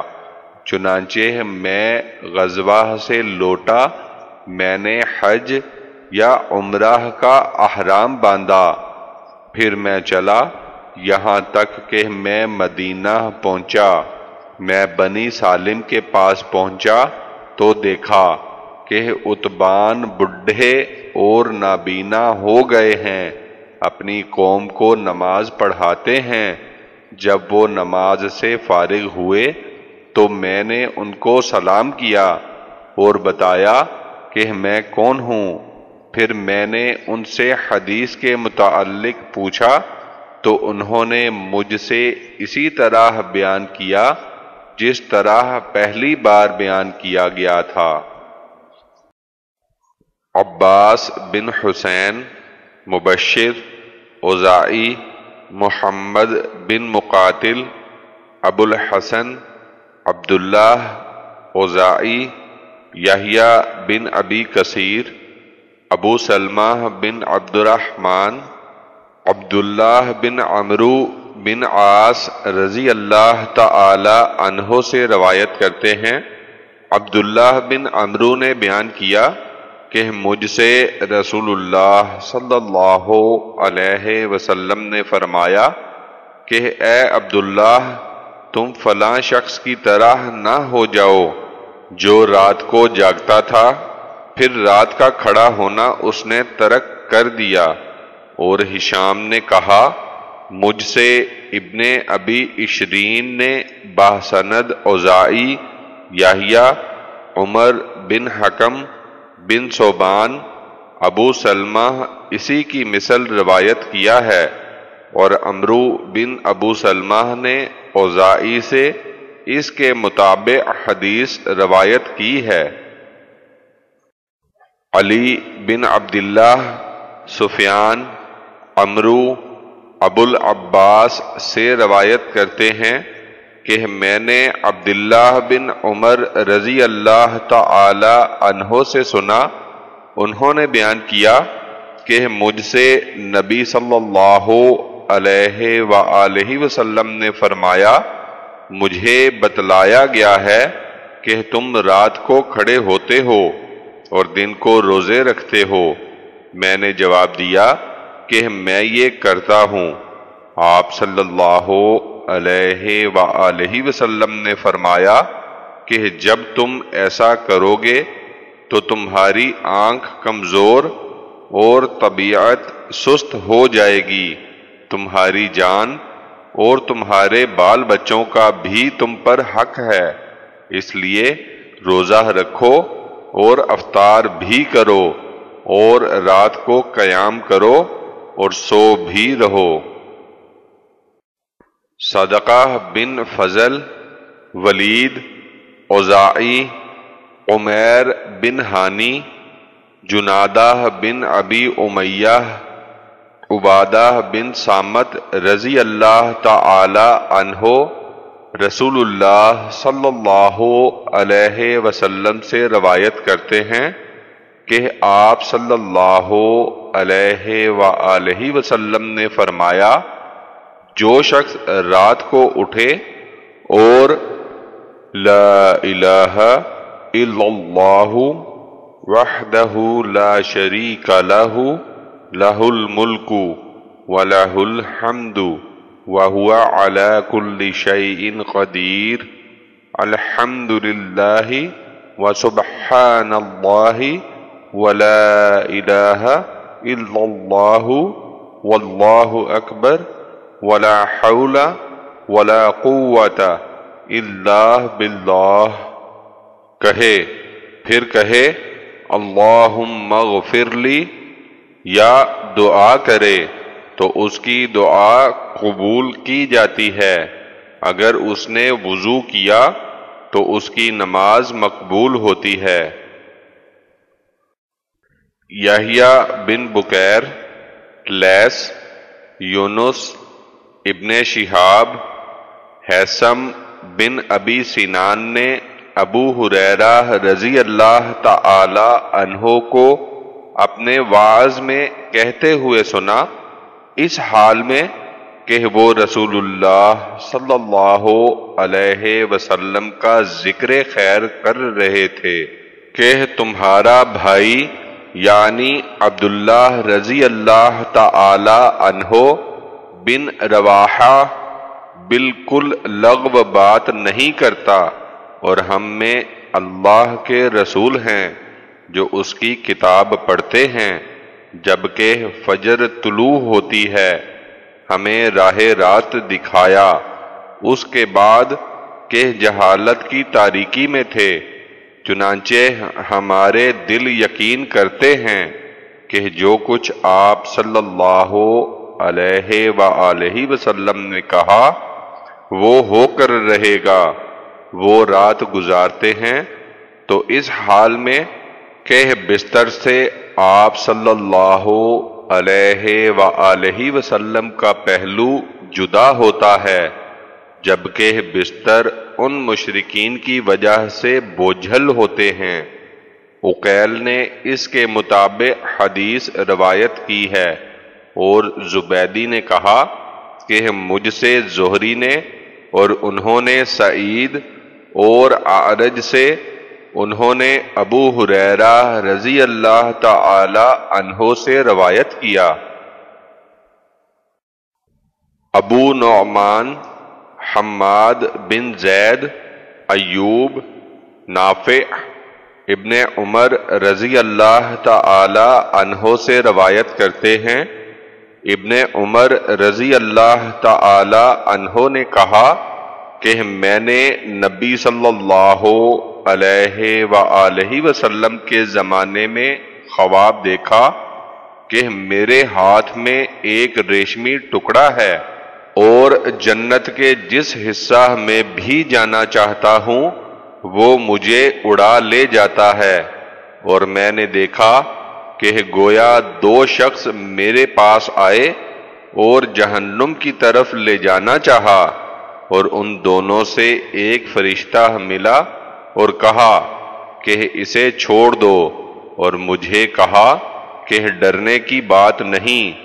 حضرت حفصہ رضی اللہ تعالی عنہا نے نبی صلی اللہ علیہ وآلہ وسلم سے میرے خواب میں سے ایک حصہ بیان کیا تو نبی صلی اللہ علیہ وآلہ وسلم نے فرمایا کہ عبداللہ رضی اللہ تعالی عنہ بہت اچھا آدمی ہے۔ کاش وہ رات کو نماز پڑھتا۔ چنانچہ عبداللہ رضی اللہ تعالی عنہ رات کو نماز پڑھتے اور لوگ نبی صلی اللہ علیہ وآلہ وسلم کے سامنے اپنا خواب بیان کرتے۔ کہ شب قدر ماہ رمضان کے آخری اشرے کی ساتویں رات کو ہے۔ تو نبی صلی اللہ علیہ وآلہ وسلم نے فرمایا کہ میں دیکھتا ہوں کہ تمہارے خواب آخری اشرے کے متعلق متفق ہو گئے۔ تم میں سے جو شخص اس کو تلاش کرے تو اسے چاہیے کہ آخری اشراہ میں تلاش کرے۔ عبداللہ بن یزید، سعید بن ابو ایوب، جعفر بن ربیعہ ارک بن مالک، ابو سلمہ، حضرت عائشہ رضی اللہ تعالی عنہا سے روایت کرتے ہیں۔ حضرت عائشہ رضی اللہ تعالی عنہا نے بیان کیا کہ نبی صلی اللہ علیہ وآلہ وسلم نے عشاء کی نماز پڑھی۔ پھر آٹھ رکت اور دو رکت بیٹھ کر پڑھی اور دو رکت دونوں پکار اذان و اقامت کے درمیان پڑھی اور ان دونوں رکتوں کو کبھی نہ چھوڑتے تھے۔ عبداللہ بن یزید، سعید بن ابی ایوب ابو الاسود عرواہ بن زبیر رضی اللہ تعالی عنہ حضرت عائشہ رضی اللہ تعالی عنہا سے روایت کرتے ہیں۔ حضرت عائشہ رضی اللہ تعالی عنہا نے بیان کیا کہ نبی صلی اللہ علیہ وآلہ وسلم جب فجر کی دو رکت پڑھتے تو دائیں پہلو پر لیٹ جاتے۔ بشر بن حکم، سفیان، سالم ابو النظر ابو سلمہ، حضرت عائشہ رضی اللہ تعالی عنہا سے روایت کرتے ہیں کہ حضرت عائشہ رضی اللہ تعالی عنہا نے بیان کیا کہ نبی صلی اللہ علیہ وآلہ وسلم جب نماز پڑھ لیتے اور میں جاگتی ہوتی تو مجھ سے گفتگو فرماتے ورنہ لیٹ جاتے۔ یہاں تک کہ نماز کی اذان یعنی اقامت کہی جاتی۔ قطبہ عبد الرحمن بن ابو الموالی محمد بن منقدر، جابر بن عبداللہ رضی اللہ تعالی عنہ سے روایت کرتے ہیں۔ جابر بن عبداللہ رضی اللہ تعالی عنہ نے بیان کیا کہ رسول اللہ صلی اللہ علیہ وسلم ہمیں تمام امور میں استخارہ کی تعلیم کرتے تھے، جس طرح قرآن کی صورت ہمیں سکھاتے تھے، چنانچہ آپ صلی اللہ علیہ وآلہ وسلم فرماتے تھے کہ جب تم میں سے کوئی شخص کسی کام کا ارادہ کرے تو فرض کے علاوہ دو رکت نفل نماز پڑھے، پھر کہے کہ اے میرے اللہ، میں تجھ سے تیرے علم کے ذریعہ خیر طلب کرتا ہوں اور تیری قدرت کے ذریعہ قدرت طلب کرتا ہوں اور تیرے فضل عظیم کی درخواست کرتا ہوں۔ تو قادر ہے، لیکن میں قادر نہیں۔ تو علم رکھتا ہے، لیکن مجھے علم نہیں۔ تو غیب کا سب سے زیادہ جاننے والا ہے۔ اے میرے اللہ، اگر تو سمجھتا ہے کہ یہ امر میرے دین اور معاش اور انجام کار کے لحاظ سے بہتر ہے، تو اسے میرے لیے مقدر فرما دے اور میرے لیے اس میں آسانی پیدا کر دے۔ پھر اس میں میرے واسطے برکت عطا کر اور اگر تو سمجھتا ہے کہ یہ امر میرے لیے، میرے دین اور معاش اور انجام کار کے لحاظ سے برا ہے، تو اس کو مجھ سے پھیر دے اور مجھ کو اس سے باز رکھ اور میرے لیے بھلائی مقدر فرما دے۔ جہاں بھی ہو، پھر مجھے راضی رکھ۔ آپ صلی اللہ علیہ و وسلم نے فرمایا پھر اپنی حاجت بیان کرے۔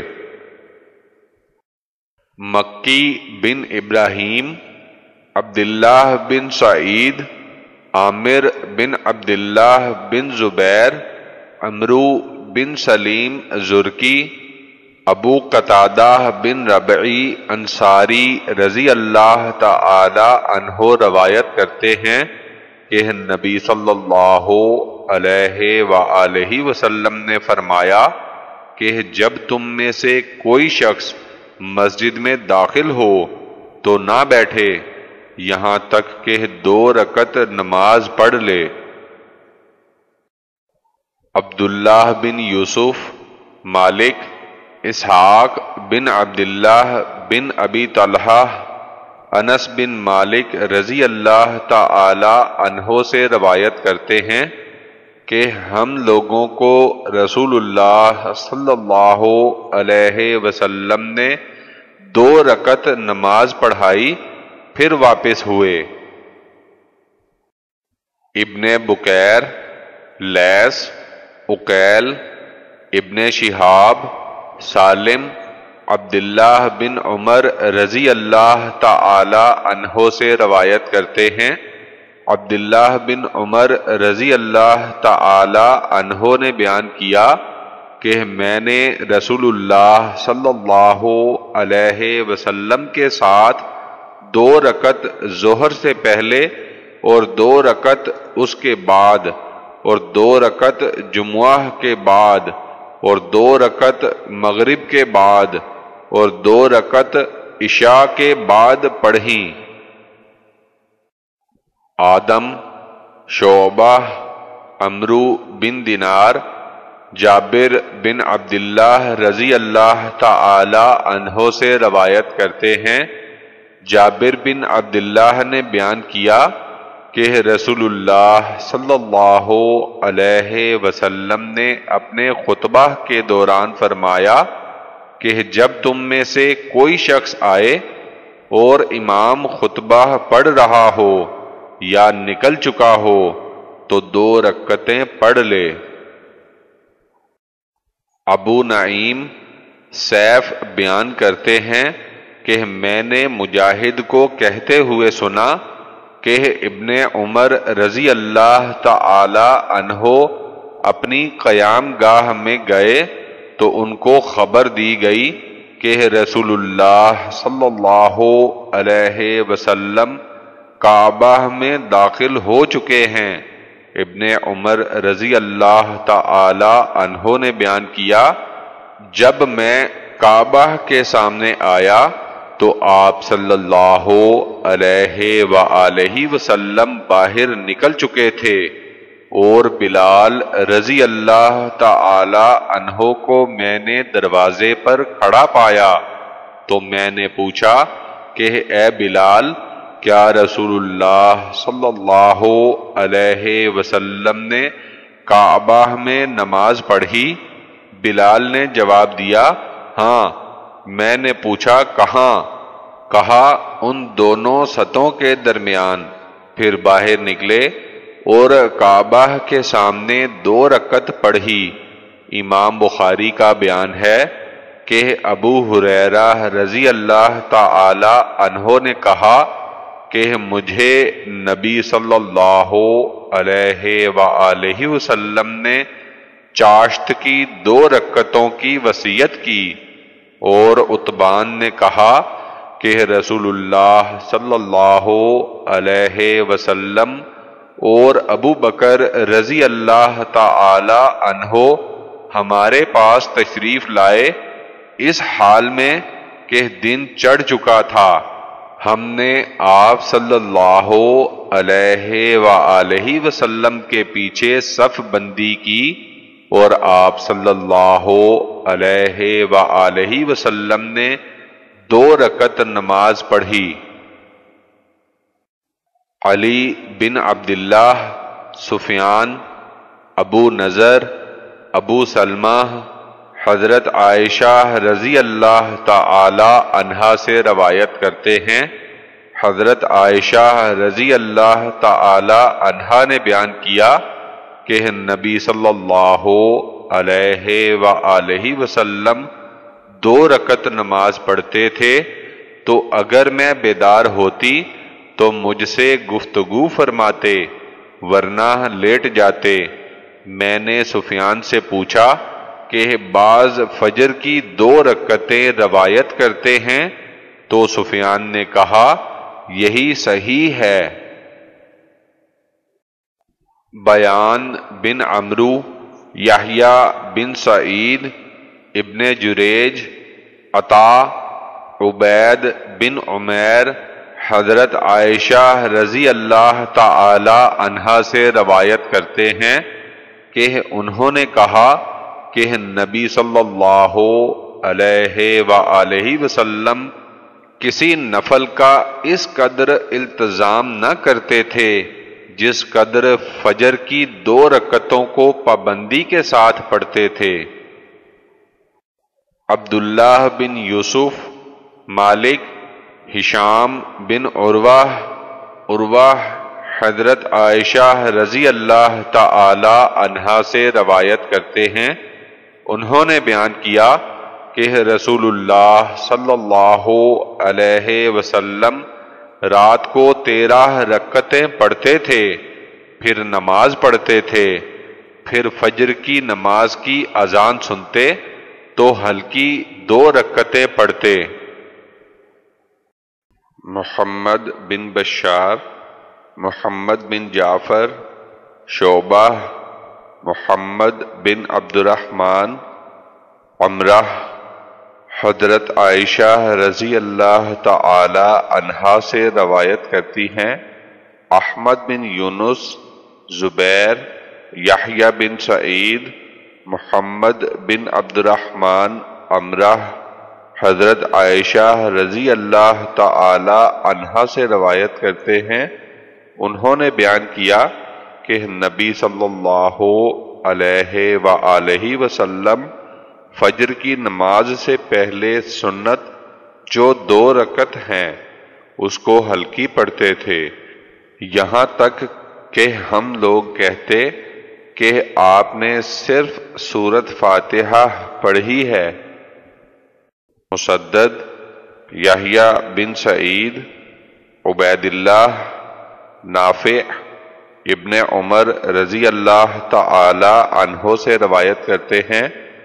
انہوں نے بیان کیا کہ میں نے نبی صلی اللہ علیہ وآلہ وسلم کے ساتھ نماز پڑھی۔ دو رکعت ظہر سے پہلے اور دو رکعت ظہر کے بعد دو رکعت عشاء کے بعد اور دو رکعت جمعہ کے بعد پڑھیں۔ لیکن مغرب اور عشاء کے وقت اپنے گھر میں پڑھتے تھے۔ ابن ابی زناد نے بطریق موسا بن اقبا نافع سے بعد العشائی فی اہلی کے الفاظ کے ساتھ روایت کیا۔ کثیر بن فرقد ایوب نافع سے روایت ہے کہ مجھ سے میری بہن حفصہ نے بیان کیا کہ نبی کریم صلی اللہ علیہ وسلم طلوع فجر کے بعد دو ہلکی رکتیں پڑھتے تھے اور وہ ایسا وقت تھا جبکہ میں نبی کریم صلی اللہ علیہ و وسلم کے پاس داخل نہیں ہوتا تھا۔ کثیر بن فرقد اور ایوب نے نافع سے اس کے مطابق حدیث روایت کی ہے اور ابن ابی زناد نے موسا بن اقبا سے انہوں نے نافع سے بعد العشائی فی اہلی اپنے گھر میں عشاء کے بعد پڑھتے کے الفاظ روایت کیے۔ علی بن عبداللہ، سفیان امرو ابو شاہ جابر، ابن عباس رضی اللہ تعالی عنہما سے روایت کرتے ہیں۔ انہوں نے بیان کیا کہ میں نے رسول اللہ صلی اللہ علیہ وسلم کے ساتھ آٹھ ایک ساتھ اور سات ایک ساتھ پڑھی۔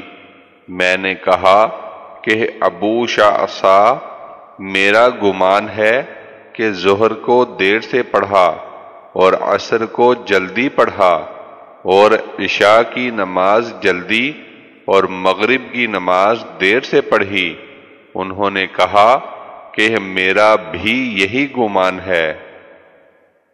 مسدد، یحییٰ، شعبہ، توبہ مورک سے روایت کرتے ہیں۔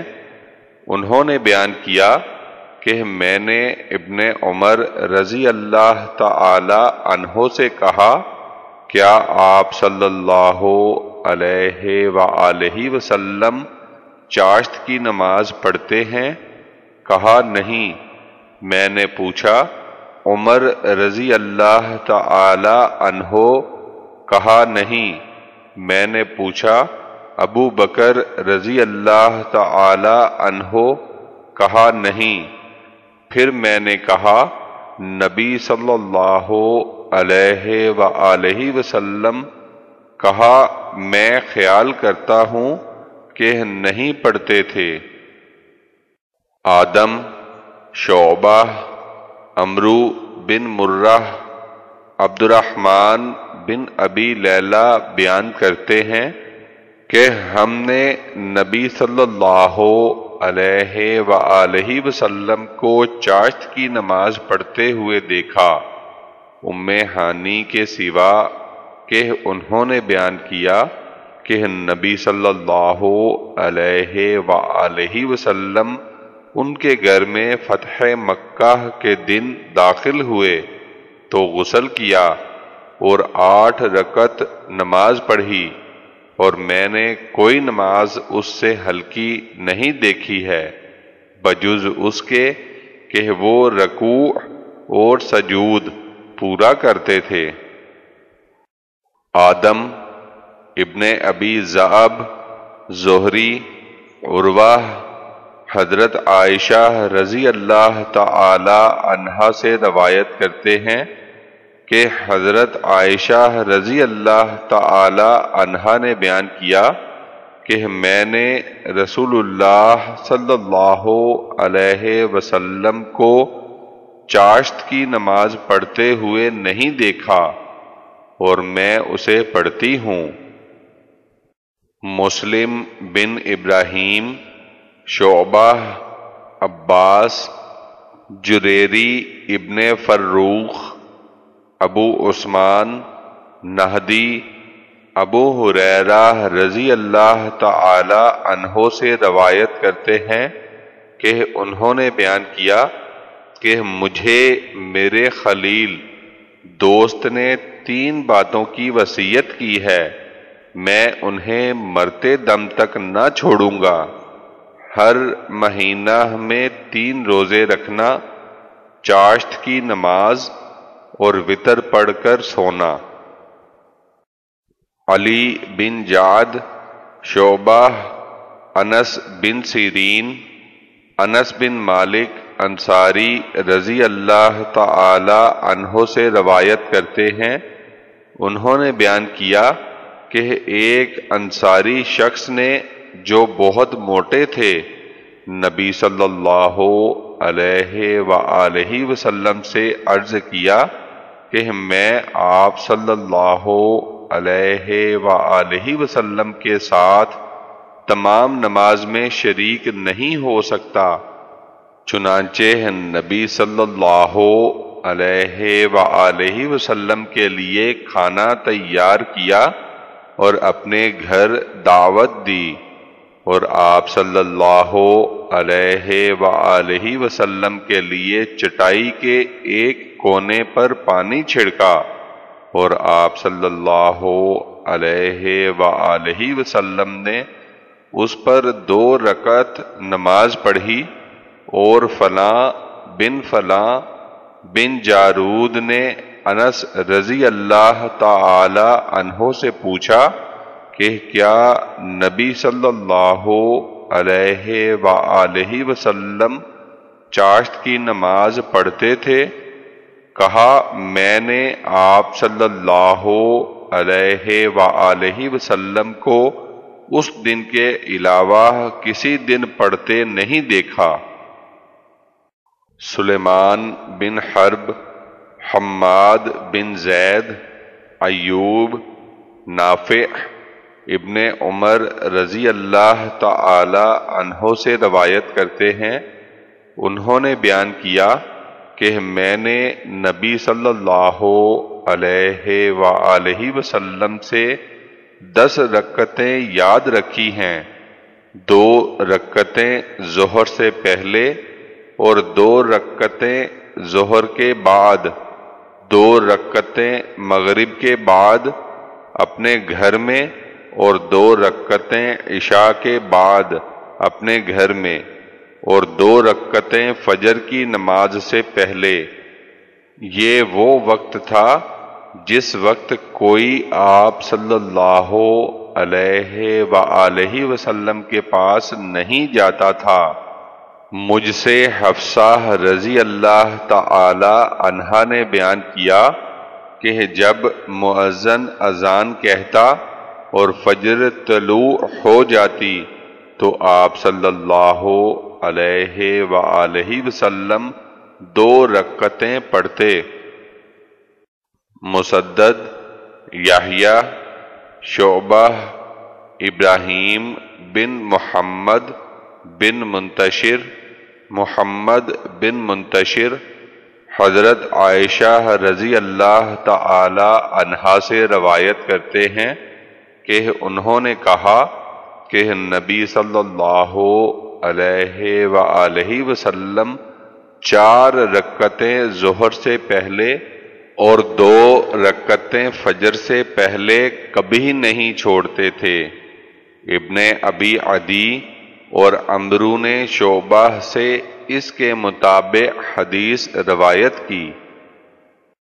ابو معمر عبد الوارث حسین، ابن بریدہ، عبداللہ مزنی، نبی صلی اللہ علیہ وآلہ وسلم سے روایت کرتے ہیں۔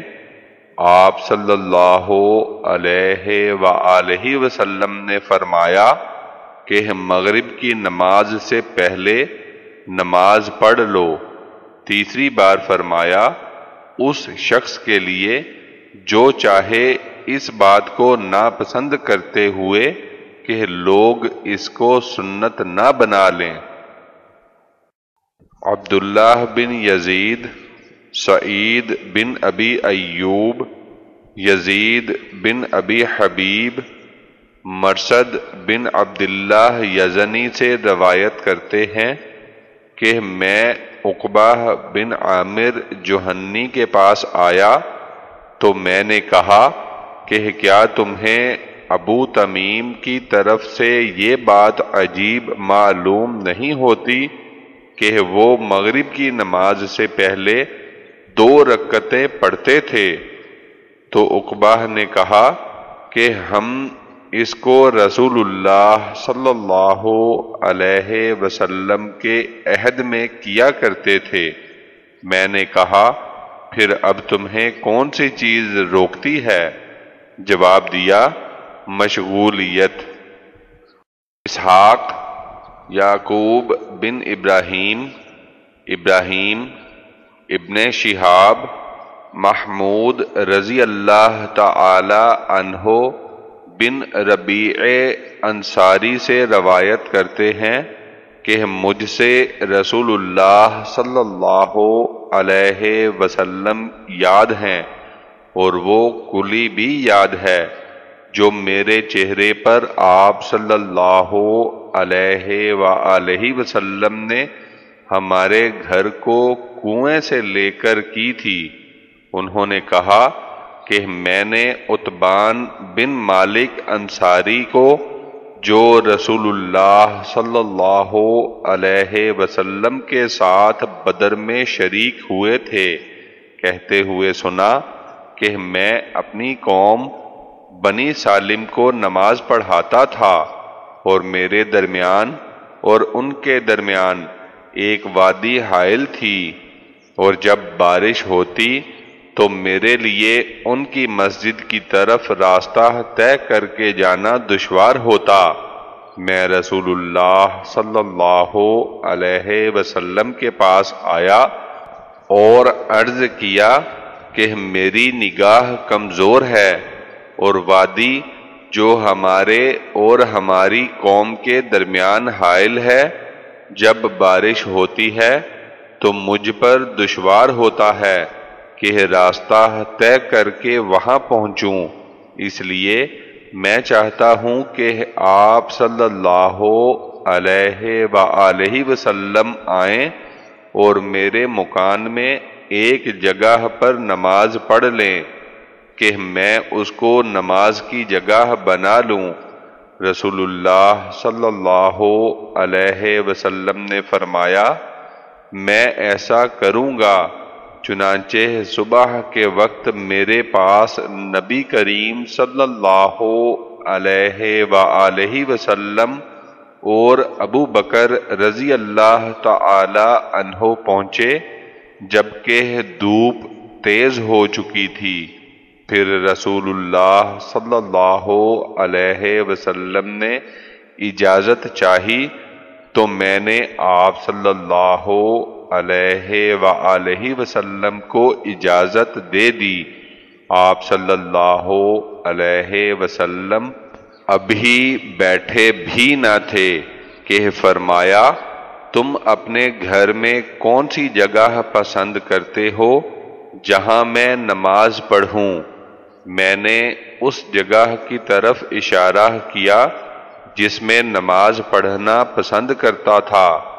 پھر رسول اللہ صلی اللہ علیہ وسلم کھڑے ہوئے اور تکبیر کہی اور ہم نے آپ صلی اللہ علیہ و وسلم کے پیچھے صف قائم کی، پھر دو رکت نماز پڑھی، پھر آپ صلی اللہ علیہ و وسلم نے سلام پھیرا اور ہم نے بھی سلام پھیرا اور جب آپ صلی اللہ علیہ و وسلم سلام پھیر چکے تو میں آپ صلی اللہ علیہ و وسلم کو خزیرہ ایک قسم کا کھانا پر روکا جو آپ صلی اللہ علیہ و وسلم کے لیے تیار کیا گیا تھا جب دوسرے گھر والوں نے رسول اللہ صلی اللہ علیہ وسلم کی آواز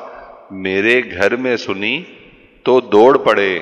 یہاں تک کہ گھر میں بہت زیادہ لوگ ہو گئے۔ تو ان میں سے ایک شخص نے کہا کہ مالک نے کیا کیا؟ میں اسے نہیں دیکھتا ہوں۔ تو ان میں سے ایک شخص نے کہا کہ وہ منافق ہے۔ اللہ کے رسول سے اسے محبت نہیں۔ رسول اللہ صلی اللہ علیہ وسلم نے فرمایا، ایسا نہ کہو، کیا تم نہیں دیکھتے کہ اس نے لا الہ الا اللہ کہا ہے، اس سے اللہ کی رضا چاہتا ہے؟ تو اس نے کہا، اللہ اور اس کے رسول زیادہ جانتے ہیں۔ لیکن ہم تو واللہ اس کی محبت اور اس کی گفتگو منافقین ہی سے دیکھتے ہیں۔ رسول اللہ صلی اللہ علیہ وسلم نے فرمایا کہ اللہ نے جہنم پر اس شخص کو حرام کر دیا ہے جو لا الہ الا اللہ کہے اور اس سے رضائے الہی چاہتا ہو۔ محمود نے بیان کیا کہ میں نے اس کو ایک جماعت سے بیان کیا جس میں رسول اللہ صلی اللہ علیہ وسلم کے صحابی ابو ایوب رضی اللہ تعالی عنہ بھی تھے اور اس جنگ میں بیان کیا جس میں انہوں نے وفات پائی اور اس وقت روم میں یزید بن معاویہ حاکم تھے۔ ابو ایوب نے ہماری اس حدیث کا انکار کیا اور کہا، واللہ، جو تو نے کہا، میرا خیال ہے رسول اللہ صلی اللہ علیہ وسلم نے نہیں کہا۔ یہ مجھے برا معلوم ہوا اور میں نے اللہ کے لیے نظر مانی۔ کہا اگر وہ مجھے صحیح و سالم رکھے، یہاں تک کہ میں اس غزوہ سے واپس ہو جاؤں، تو میں اس حدیث کے متعلق عطبان رضی اللہ تعالی عنہ بن مالک سے پوچھوں گا، اگر میں نے انہیں ان کی قوم کی مسجد میں زندہ پایا، چنانچہ میں غزوہ سے لوٹا، میں نے حج یا عمرہ کا احرام باندھا۔ پھر میں چلا، یہاں تک کہ میں مدینہ پہنچا۔ میں بنی سالم کے پاس پہنچا تو دیکھا کہ اتبان بڈھے اور نابینا ہو گئے ہیں۔ اپنی قوم کو نماز پڑھاتے ہیں۔ جب وہ نماز سے فارغ ہوئے تو میں نے ان کو سلام کیا اور بتایا کہ میں کون ہوں۔ پھر میں نے ان سے حدیث کے متعلق پوچھا تو انہوں نے مجھ سے اسی طرح بیان کیا جس طرح پہلی بار بیان کیا گیا تھا۔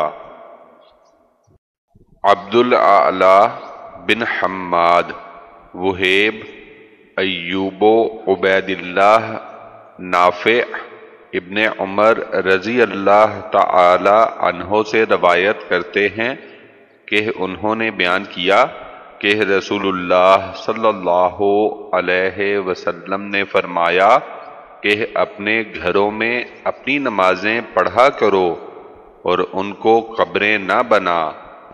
عبد الوہاب نے ایوب سے اس کے مطابق حدیث روایت کی ہے۔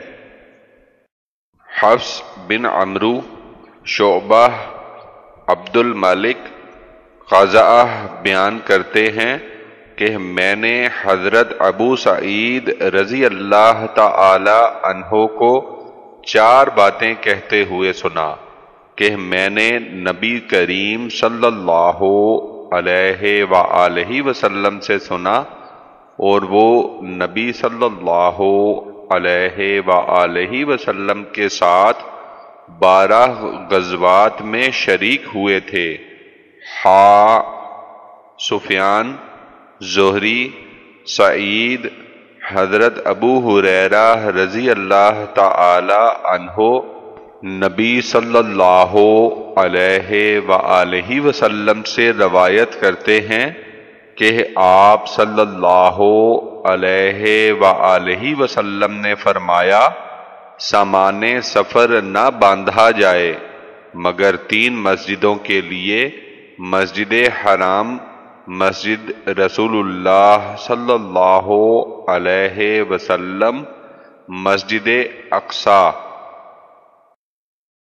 عبداللہ بن یوسف، مالک زید بن رباح عبید اللہ بن ابو عبداللہ اغرا، حضرت ابو حریرہ رضی اللہ تعالی عنہ سے روایت کرتے ہیں۔ کہ نبی صلی اللہ علیہ وآلہ وسلم نے فرمایا کہ میری اس مسجد میں نماز پڑھنا سوائے خانہ کعبہ کے دیگر تمام مساجد کی ہزار نماز سے بہتر ہے۔ یعقوب بن ابراہیم، ابن علیہ، ایوب نافع رضی اللہ تعالی عنہ سے روایت کرتے ہیں کہ ابن عمر رضی اللہ تعالی عنہ صرف دو دن چاشت کی نماز پڑھتے تھے۔ اول جس دن مکہ آتے تھے، اس لیے کہ وہاں چاشت کے وقت پہنچتے تھے اور خانہ کعبہ کا طواف کرتے تھے۔ پھر مقام ابراہیم کے پیچھے دو رکعت نماز پڑھتے تھے۔ دوسرے جس دن قبا میں آتے تھے، وہ اس مسجد میں ہر سنیچر کے دن آتے تھے۔ جب مسجد میں داخل ہوتے، تو اس بات کو ناپسند کرتے کہ اس مسجد سے بغیر نماز پڑھے ہوئے نکل جائیں۔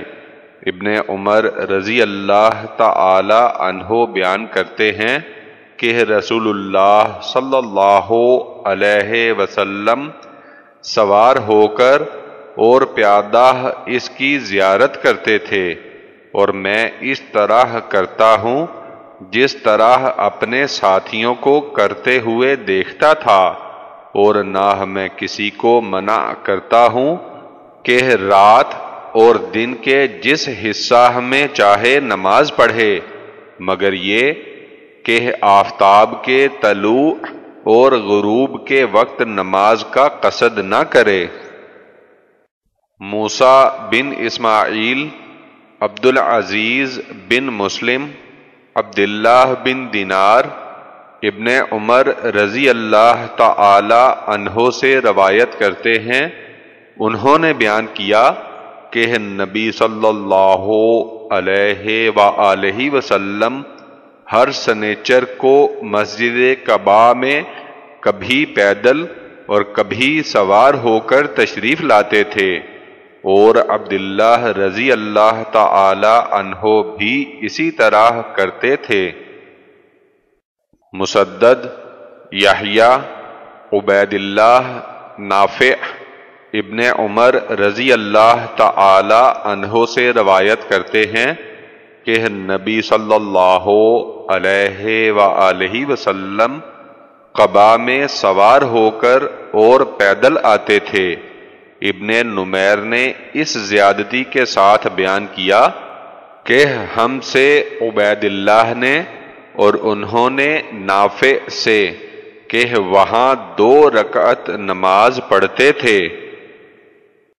عبداللہ بن یوسف، مالک عبداللہ بن ابی بکر، عباد بن تمیم، عبداللہ بن زید مازنی رضی اللہ تعالی عنہ سے روایت کرتے ہیں کہ انہوں نے بیان کیا کہ رسول اللہ صلی اللہ علیہ وسلم نے فرمایا کہ میرے گھر اور ممبر کے درمیان جنت کے باغوں میں سے ایک باغ ہے۔ مسدد یاہیا عبید اللہ خبیب بن عبد الرحمن حفظ بن عاصم حضرت ابو حریرہ رضی اللہ تعالی عنہ سے روایت کرتے ہیں۔ انہوں نے بیان کیا کہ نبی صلی اللہ علیہ وآلہ وسلم نے فرمایا کہ میرے گھر اور میرے ممبر کے درمیان جنت کے باغوں میں سے ایک باغ ہے اور میرا ممبر میرے حوض پر ہے۔ ابو الولید، شعبہ، عبد الملک قضا زیاد کے آزاد کردہ غلام بیان کرتے ہیں۔ کہ میں نے حضرت ابو سعید خدری رضی اللہ تعالی عنہ کو نبی صلی اللہ علیہ و وسلم سے چار باتیں بیان کرتے ہوئے سنا، جو مجھ کو بہت اچھی اور خوشگوار معلوم ہوئیں فرمایا، عورت دو دن کا سفر نہ کرے، مگر اس حال میں کہ اس کے ساتھ اس کا شوہر یا ایسا رشتہ دار ہو جس سے نکاح حرام ہے اور نہ عید الفطر اور عید الاضحیٰ کے دن روزہ رکھے اور نہ نماز پڑھے، دو نمازوں کے بعد، ایک نماز فجر کے بعد، جب تک کہ آفتاب طلوع نہ ہو جائے اور عصر کے بعد جب تک کہ آفتاب غروب نہ ہو جائے اور نہ سوا تین مسجدوں کے کسی مسجد کی طرف سامان سفر باندھے، مسجد حرام، مسجد اقسا اور میری مسجد۔ عبداللہ بن یوسف، مالک، مخرمہ بن سلیمان، قریب ابن عباس کے آزاد کردہ غلام نے عبداللہ بن عباس کے متعلق روایت کیا کہ انہوں نے اپنی خالہ ام المؤمنین حضرت میمونہ رضی اللہ تعالی عنہا کے پاس رات گزاری۔ ابن عباس رضی اللہ تعالی عنہما کا بیان ہے کہ میں بستر کے عرض میں لیٹا اور رسول اللہ صلی اللہ علیہ وسلم اور ان کی بیوی اس کے طول میں لیٹے اور آدھی رات گزرنے تک یا اس سے کچھ پہلے یا کچھ بعد تک رسول اللہ صلی اللہ علیہ وسلم سوتے رہے، پھر رسول اللہ صلی اللہ علیہ وسلم بیدار ہوئے اور اپنے ہاتھوں کے ذریعہ نیند کا اثر اپنے چہرے سے دور کیا۔ پھر صورت آل عمران کی آخری دس آیتیں پڑھیں۔ بعد ازاں ایک مشک کی طرف گئے جو لٹکی ہوئی تھی اور اس سے وضو کیا اور اچھی طرح وضو کیا۔ پھر نماز پڑھنے کھڑے ہو گئے۔ عبداللہ بن عباس کا بیان ہے کہ میں بھی کھڑا ہوا اور اس طرح کیا جس طرح آپ نے کیا۔ پھر میں گیا اور آپ کے پہلو میں کھڑا ہو گیا۔ تو رسول اللہ صلی اللہ علیہ وسلم نے اپنا دایاں ہاتھ میرے سر پر رکھا اور میرے دائیں کان کو اپنے ہاتھ سے ملنے لگے۔ بعد ازاں آپ نے دو رکت نماز پڑھی، پھر دو رکت پھر دو رکعت، پھر دو رکعت، پھر دو رکعت، پھر دو رکعت پڑھیں۔ گویا بارہ رکتیں پڑھیں۔ پھر وطر پڑھے اور لیٹ رہے۔ یہاں تک کہ مؤذن آیا اور آپ کھڑے ہوئے اور دو رکتیں ہلکی پڑھیں۔ پھر باہر نکلے۔ اور فجر کی نماز پڑھائی۔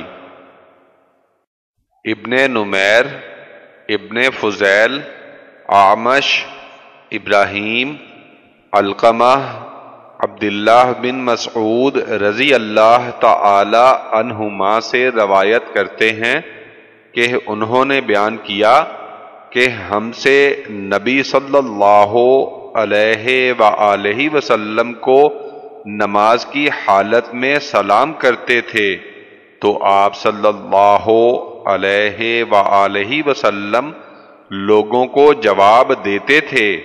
جب ہم لوگ نجاشی کے پاس سے واپس ہوئے، ہم نے آپ صلی اللہ علیہ و وسلم کو سلام کیا، تو آپ صلی اللہ علیہ و وسلم نے ہمیں جواب نہیں دیا اور فرمایا کہ نماز میں اللہ کی طرف دھیان ہوتا ہے۔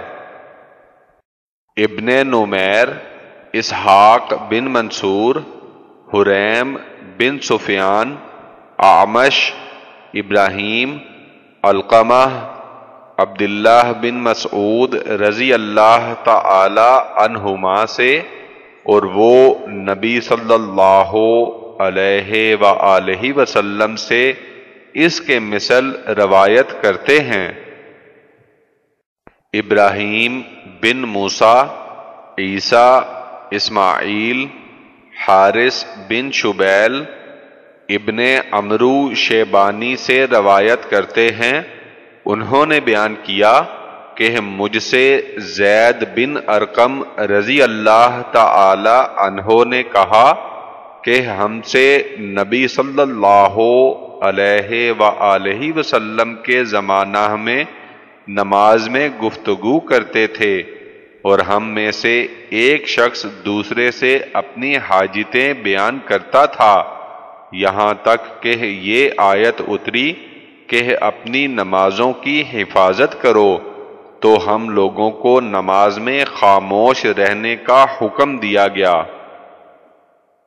عبداللہ بن مسلمہ عبد العزیز بن ابی حازم اپنے والد سے اور وہ سہل رضی اللہ تعالی عنہ سے روایت کرتے ہیں کہ انہوں نے بیان کیا کہ نبی صلی اللہ علیہ وآلہ وسلم بنی امرو بن اوف سے صلاح کی گفتگو کرنے نکلے اور نماز کا وقت آ گیا۔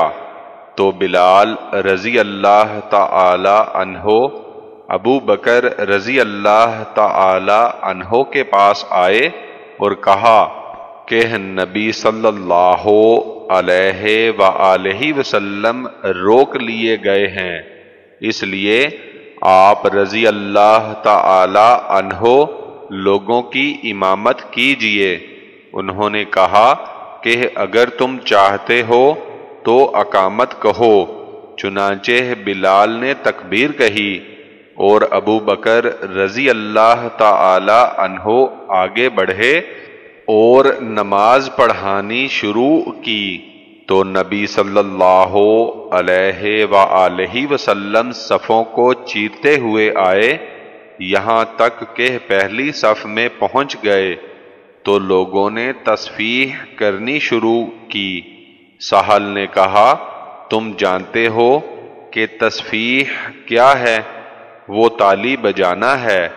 ابو بکر رضی اللہ تعالی عنہ اپنی نماز میں اس کی طرف متوجہ نہ ہوئے، لیکن جب لوگوں نے بہت زیادہ تالی بجانا شروع کی تو مڑے اور دیکھا کہ نبی صلی اللہ علیہ وآلہ وسلم پہلی صف میں ہیں اور آپ صلی اللہ علیہ وآلہ وسلم نے اشارہ کیا کہ اپنی جگہ پر رہو۔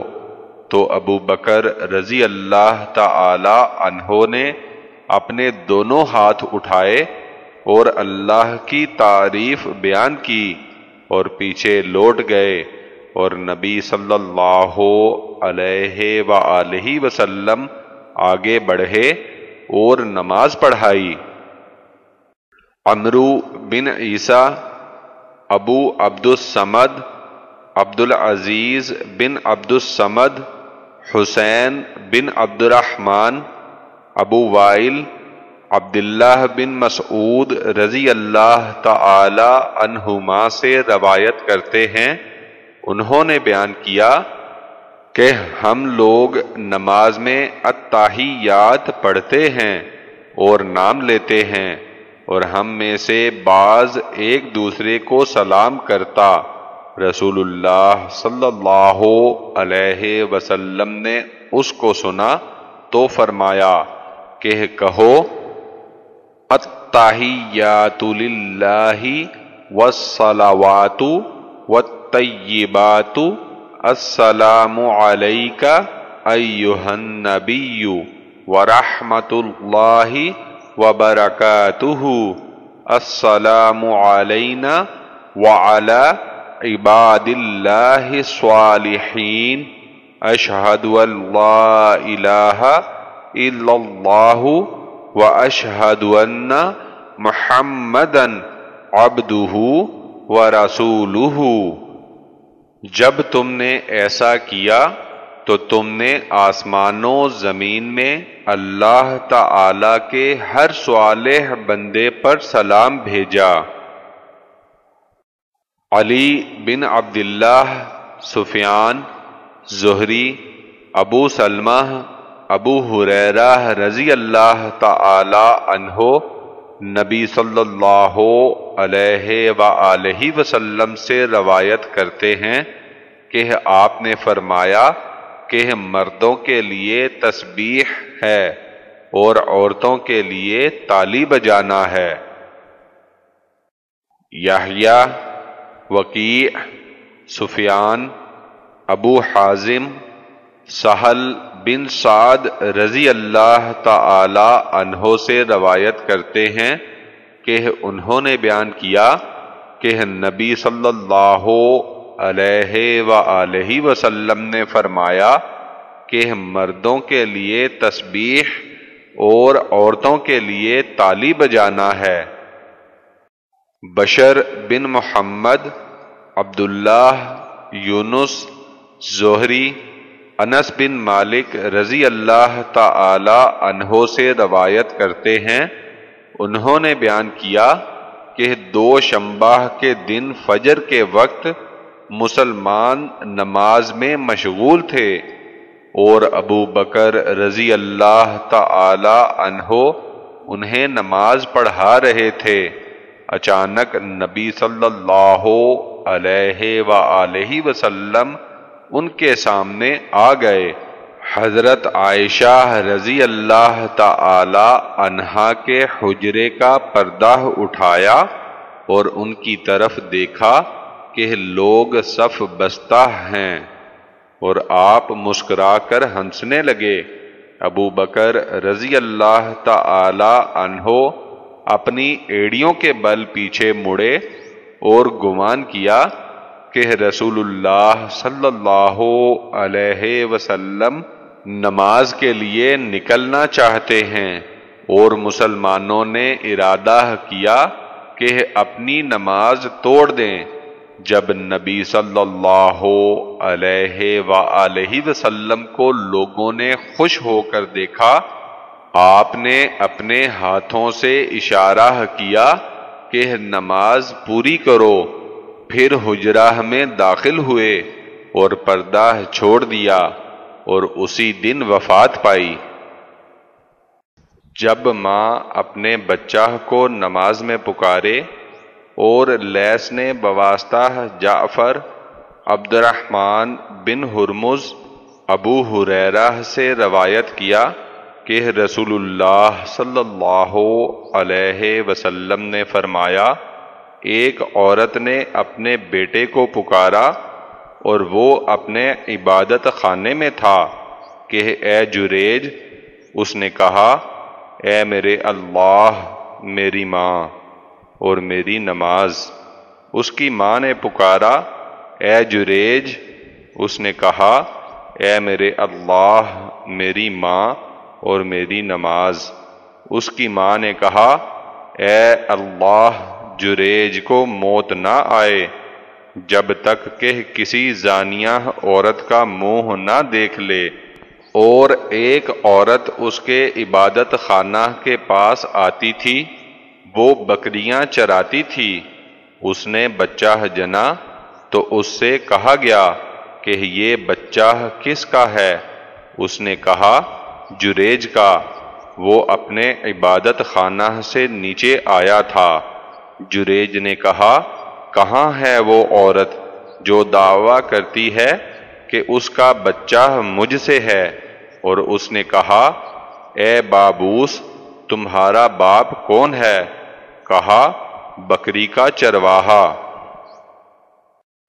ابو نعیم، شیبان یاہیا ابو سلمہ معیقیب سے روایت کرتے ہیں انہوں نے کہا کہ نبی صلی اللہ علیہ وآلہ وسلم نے اس شخص کے متعلق جو سجدہ کرنے کی جگہ پر مٹی برابر کرے، فرمایا، اگر ایسا کرنا ہی چاہتے ہو تو بس ایک دفعہ کر لو۔ مسدد، بشر، غالب، بکر بن عبداللہ انس بن مالک رضی اللہ تعالی عنہ سے روایت کرتے ہیں، انہوں نے بیان کیا کہ ہم گرمی کی شدت میں نبی صلی اللہ علیہ و وسلم کے ساتھ نماز پڑھتے اور جب ہم میں سے بعض اس کی قدرت نہ رکھتا کہ زمین پر اپنا چہرہ نہ رکھ سکے تو اپنا کپڑا اس پر پھیلاتا اور اس پر سجدہ کرتا۔ عبداللہ بن مسلمہ، مالک، ابو نظر ابو سلمہ، عائشہ رضی اللہ تعالی عنہا سے روایت کرتے ہیں۔ انہوں نے کہا کہ میں اپنا پاؤں رسول اللہ صلی اللہ علیہ وسلم کے سامنے دراز کیے رہتی اور آپ نماز پڑھتے۔ جب آپ سجدہ کرتے تو میرا پاؤں دبا دیتے تو میں اس کو اٹھا لیتی۔ جب کھڑے ہو جاتے تو میں پھر پھیلا دیتی۔ محمود، شبابہ، شعبہ، محمد بن زیاد، ابو حریرہ رضی اللہ تعالی عنہ سے اور وہ نبی صلی اللہ علیہ وآلہ وسلم سے روایت کرتے ہیں کہ آپ نے ایک نماز پڑھی تو فرمایا کہ شیطان میرے سامنے آیا اور مجھ پر دشوار کر دیا گیا کہ نماز کو توڑ دے، تو اللہ تعالی نے مجھ کو اس پر غلبہ عطا کیا اور میں نے اس کو مغلوب کر لیا۔ اور میں نے ارادہ کیا کہ اسے ایک ستون سے باندھ دوں تاکہ صبح کے وقت تم لوگ اسے دیکھ سکو۔ پھر میں نے حضرت سلیمان علیہ السلام کا یہ قول یاد کیا کہ ربی حبلی ملکن لا ينبغی لأحد من بعدی۔ تو اللہ تعالی نے اس کو نامراد اور ذلیل کر کے واپس کر دیا۔ پھر نظر بن اسماعیل نے کہا کہ دعتہو سے مراد، میں نے اس کا گلا گھونٹا۔ اور دعتہو، اللہ تعالی کے قول، یوم یدعون سے ماخوذ ہے۔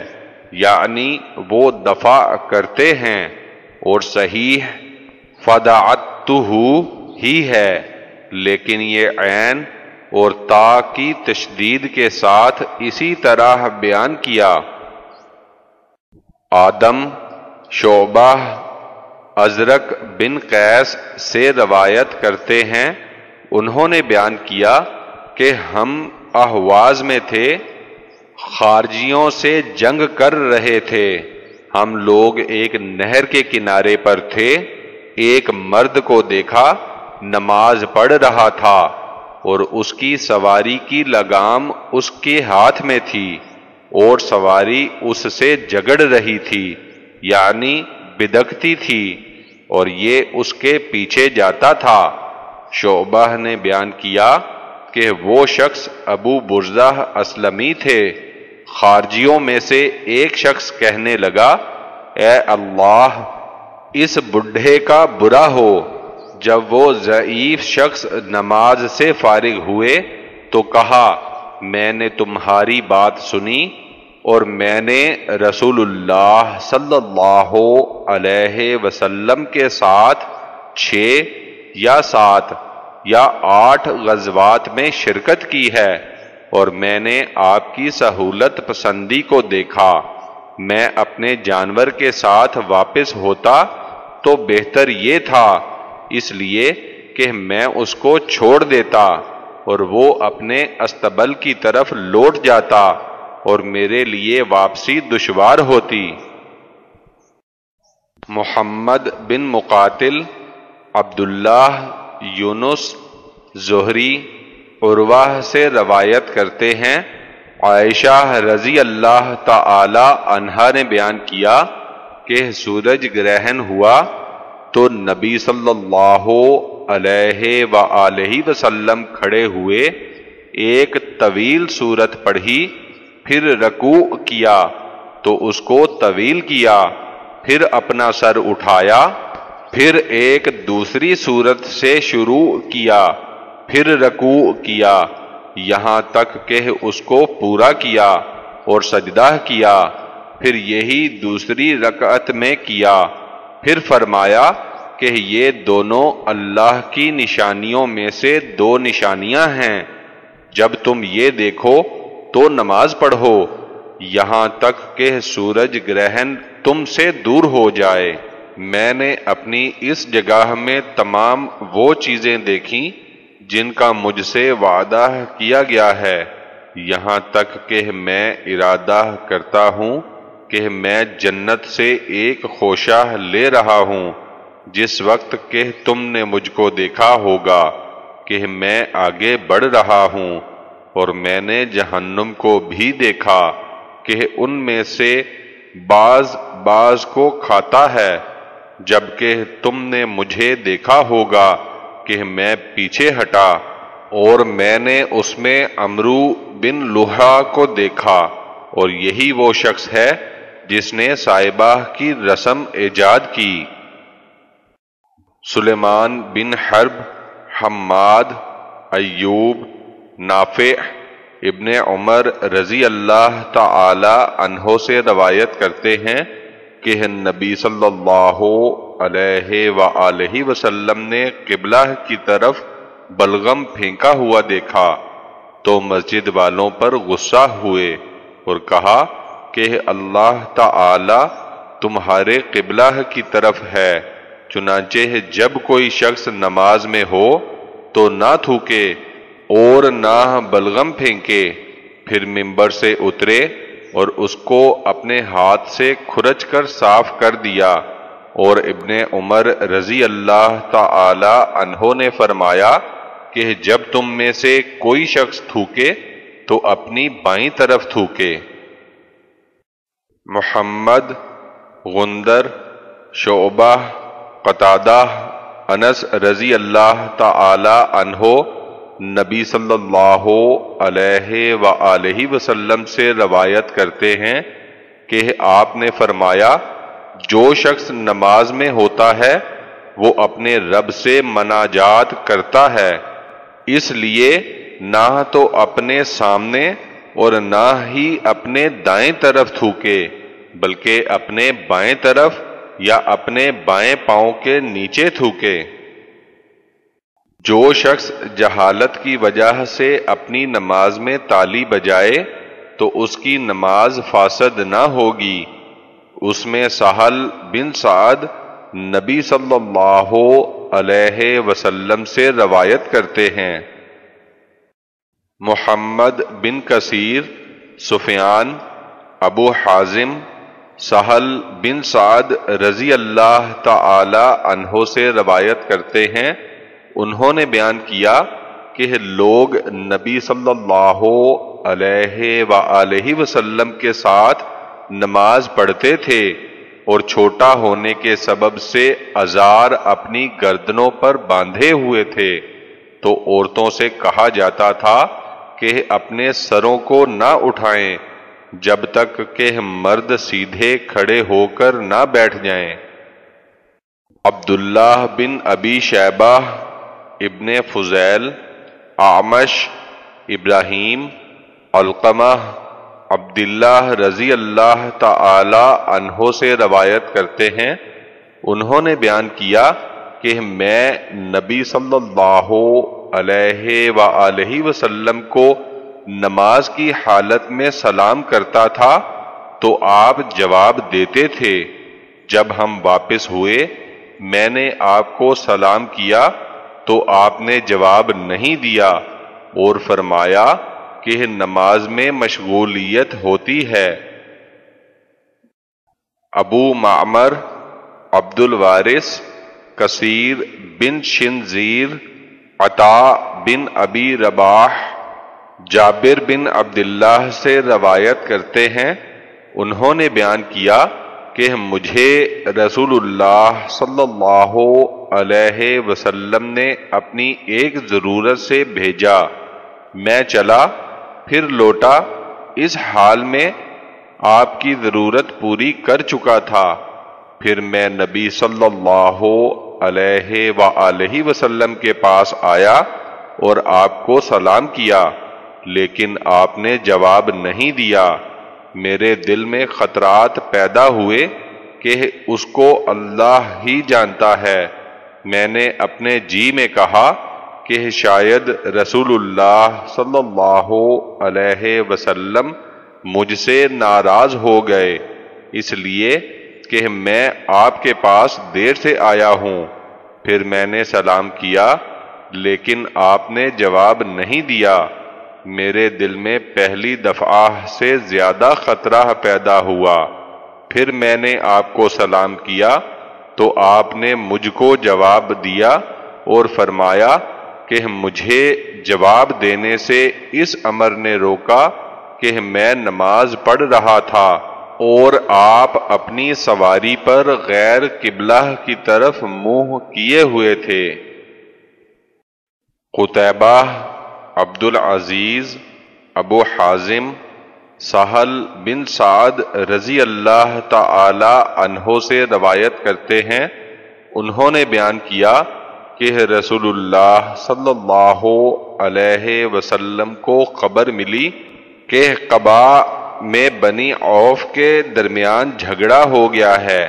آپ ان کے درمیان صلح کرانے چند صحابہ رضی اللہ تعالی عنہ کے ساتھ روانہ ہوئے، چنانچہ رسول اللہ صلی اللہ علیہ وسلم کو رکنا پڑا اور نماز کا وقت آ گیا تو بلال رضی اللہ تعالی عنہ، حضرت ابو بکر رضی اللہ تعالی عنہ کے پاس آئے اور کہا، اے ابو بکر رضی اللہ تعالی عنہ رسول اللہ صلی اللہ علیہ وسلم کو رک جانا پڑا اور نماز کا وقت آ چکا ہے۔ تو کیا آپ لوگوں کی امامت کر سکتے ہیں؟ حضرت ابو بکر رضی اللہ تعالی عنہ نے کہا کہ ہاں اگر تمہاری خواہش ہے۔ چنانچہ بلال رضی اللہ تعالی عنہ نے تکبیر کہی۔ اور ابو بکر رضی اللہ تعالی عنہ آگے بڑھے اور تکبیر تحریمہ کہی، اور رسول اللہ صلی اللہ علیہ وسلم تشریف لائے اور صفوں کو چیرتے ہوئے آگے بڑھتے گئے۔ یہاں تک کہ پہلی صف کے پاس پہنچے تو لوگوں نے تصفیح کرنا شروع کیا۔ سہل نے کہا کہ تصفیح سے مراد تالی بجانا ہے اور ابو بکر رضی اللہ تعالی عنہ نماز میں کسی طرح متوجہ نہ ہوتے تھے۔ جب لوگوں نے بہت زیادہ تالی بجانا شروع کی تو مڑ کر دیکھا تو رسول اللہ صلی اللہ علیہ وسلم کو دیکھا۔ آپ نے ان کی طرف حکم دیتے ہوئے اشارہ کیا کہ نماز پڑھائیں۔ ابو بکر رضی اللہ تعالی عنہ نے اپنا ہاتھ اٹھایا اور اللہ کی تعریف بیان کی۔ پھر الٹے پاؤں پیچھے کی طرف واپس ہو گئے۔ یہاں تک کہ صف میں مل کر کھڑے ہو گئے اور رسول اللہ صلی اللہ علیہ وسلم آگے بڑھے اور لوگوں کو نماز پڑھائی۔ جب نماز سے فارغ ہوئے تو فرمایا کہ اے لوگو، تمہیں کیا ہو گیا ہے کہ جب تمہیں کوئی بات نماز میں پیش آتی ہے تو تالی بجانا شروع کر دیتے ہو۔ تالی بجانا عورتوں کے لیے ہے۔ جس شخص کو نماز میں کوئی بات پیش آئے تو سبحان اللہ کہے۔ پھر ابو بکر کی طرف متوجہ ہوئے اور فرمایا کہ اے ابو بکر، تمہیں کس چیز نے نماز پڑھانے سے روکا؟ جبکہ میں نے تمہیں اشارہ کیا تھا۔ ابو بکر نے جواب دیا کہ ابو کوحافہ کے بیٹے کے لیے کسی طرح یہ مناسب نہ تھا کہ رسول اللہ صلی اللہ علیہ وسلم کی موجودگی میں نماز پڑھائے۔ ابو نعمان، حماد، ایوب، محمد، ابو حریرہ رضی اللہ تعالی عنہ سے روایت کرتے ہیں۔ انہوں نے بیان کیا کہ ہمیں نماز میں کلہوں پر ہاتھ رکھنے سے منع کیا گیا۔ اور ہشام اور ابو بلال نے ابن سیرین سے انہوں نے نبی صلی اللہ علیہ وآلہ وسلم سے روایت کیا۔ عمر بن علی یاہیا ہشام، محمد، ابو حریرہ رضی اللہ تعالی عنہ سے روایت کرتے ہیں کہ مرد کو کمر پر ہاتھ رکھ کر نماز پڑھنے سے منع کیا گیا ہے۔ اسحاق بن منصور روح، عمر بن سعید ابن ابی ملیکہ، اقبہ بن حارث رضی اللہ تعالی عنہ سے روایت کرتے ہیں۔ انہوں نے بیان کیا کہ میں نے نبی صلی اللہ علیہ وسلم کے ساتھ عصر کی نماز پڑھی۔ جب آپ نے سلام پھیرا تو جلدی سے کھڑے ہوئے اور اپنی بیویوں کے پاس تشریف لے گئے۔ پھر واپس ہوئے تو آپ نے لوگوں کے چہرے میں جلد تشریف لے جانے کے سبب تعجب کے اثرات دیکھے۔ تو آپ نے فرمایا، میں نماز میں تھا، تو مجھے یاد آیا کہ ہمارے پاس سونا ہے۔ میں نے برا سمجھا کہ اس کی موجودگی میں شام ہو یا رات گزرے۔ تو میں نے اس کو تقسیم کرنے کا حکم دیا۔ یحییٰ بن بکیر لیس جعفر آرج حضرت ابو حریرہ رضی اللہ تعالی عنہ سے روایت کرتے ہیں کہ نبی صلی اللہ علیہ وسلم نے فرمایا کہ جب نماز کی اذان کہی جاتی ہے تو شیطان گوز مارتا ہوا بھاگتا ہے۔ یہاں تک کہ اذان کی آواز نہ سنے۔ جب معزن خاموش ہو جاتا ہے تو واپس ہو جاتا ہے۔ جب تکبیر کہی جاتی ہے تو بھاگتا ہے۔ جب مکبر خاموش ہو جاتا ہے تو پھر آتا ہے۔ اور آدمی سے کہتا ہے کہ فلاں بات یاد کر۔ جو اسے یاد نہیں آتا تھا، یہاں تک کہ وہ نمازی نہیں جانتا کہ اس نے کتنی نماز پڑھی۔ ابو سلمہ بن عبد الرحمن نے کہا کہ جب تم میں سے کوئی شخص ایسا کرے تو وہ سجدے کر لے۔ اس حال میں بیٹھا ہو اور اس کو ابو سلمہ نے ابو حریرہ رضی اللہ تعالی عنہ سنا ہے۔ محمد بن مسنہ، عثمان بن عمر، ابن ابی زعب سعید مقبوری سے روایت کرتے ہیں کہ ابو حریرہ رضی اللہ تعالی عنہ نے بیان کیا کہ لوگ کہتے ہیں کہ ابو حریرہ رضی اللہ تعالی عنہ بہت زیادہ روایت کرتے ہیں۔ میں ایک شخص سے ملا اور اس سے پوچھا کہ رسول اللہ صلی اللہ علیہ وسلم نے گزشتہ رات عشاء کی نماز میں کون سی صورت پڑھی تھی؟ اس نے کہا کہ میں نہیں جانتا۔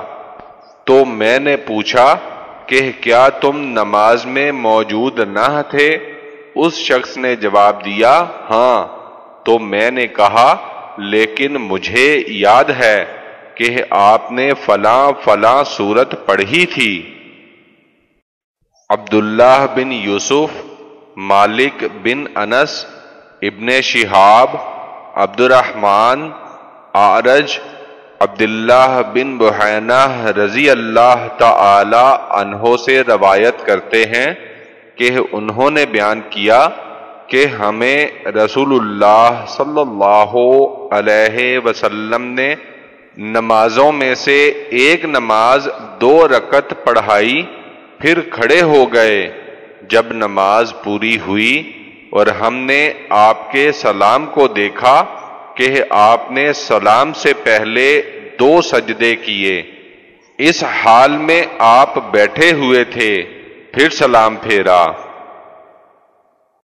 عبداللہ بن یوسف، مالک یاہیا بن سعید عبد الرحمن آرج عبداللہ بن بحینہ رضی اللہ تعالی عنہ سے روایت کرتے ہیں کہ انہوں نے بیان کیا کہ رسول اللہ صلی اللہ علیہ وسلم ظہر کی نماز میں دو رکعت پڑھ کر کھڑے ہو گئے اور ان دونوں کے درمیان نہ بیٹھے۔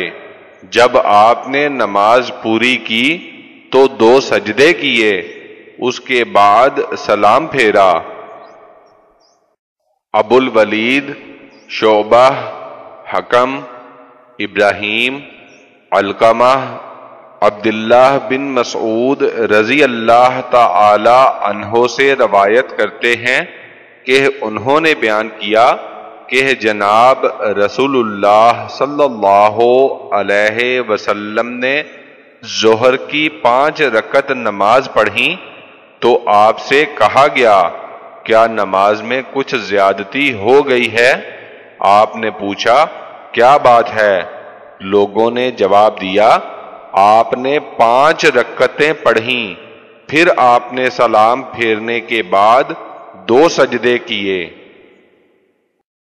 آدم، شعبہ، سعد بن ابراہیم ابو سلمہ حضرت ابو حریرہ رضی اللہ تعالی عنہ سے روایت کرتے ہیں کہ انہوں نے بیان کیا کہ ہم لوگوں کو رسول اللہ صلی اللہ علیہ وسلم نے ظہر یا عصر کی نماز پڑھائی تو آپ نے سلام پھیر دیا تو ذولیدین نے کہا کہ یا رسول اللہ صلی اللہ علیہ وسلم، کیا نماز میں کمی ہو گئی ہے؟ تو نبی صلی اللہ علیہ وسلم نے اپنے ساتھیوں سے فرمایا کہ وہ ٹھیک کہتا ہے۔ تو لوگوں نے کہا کہ ہاں چنانچہ آپ نے دو رکت اور پڑھی، پھر دو سجدے کیے۔ سعد نے بیان کیا کہ میں نے ارواہ بن زبیر کو دیکھا کہ انہوں نے مغرب کی دو رکت نماز پڑھی، انہوں نے سلام پھیرا اور گفتگو کی، پھر باقی نماز پڑھی اور دو سجدے کیے اور کہا کہ اسی طرح رسول اللہ صلی اللہ علیہ وسلم نے کیا تھا۔ عبداللہ بن یوسف مالک بن انس، ایوب بن ابی تمیمہ سختیانی، محمد بن سیرین، حضرت ابو حریرہ رضی اللہ تعالی عنہ سے روایت کرتے ہیں کہ انہوں نے بیان کیا کہ رسول اللہ صلی اللہ علیہ وسلم دو رکعت سے فارغ ہوئے تو ذولیدین نے آپ سے عرض کیا کیا نماز میں کمی ہو گئی ہے یا آپ بھول گئے ہیں؟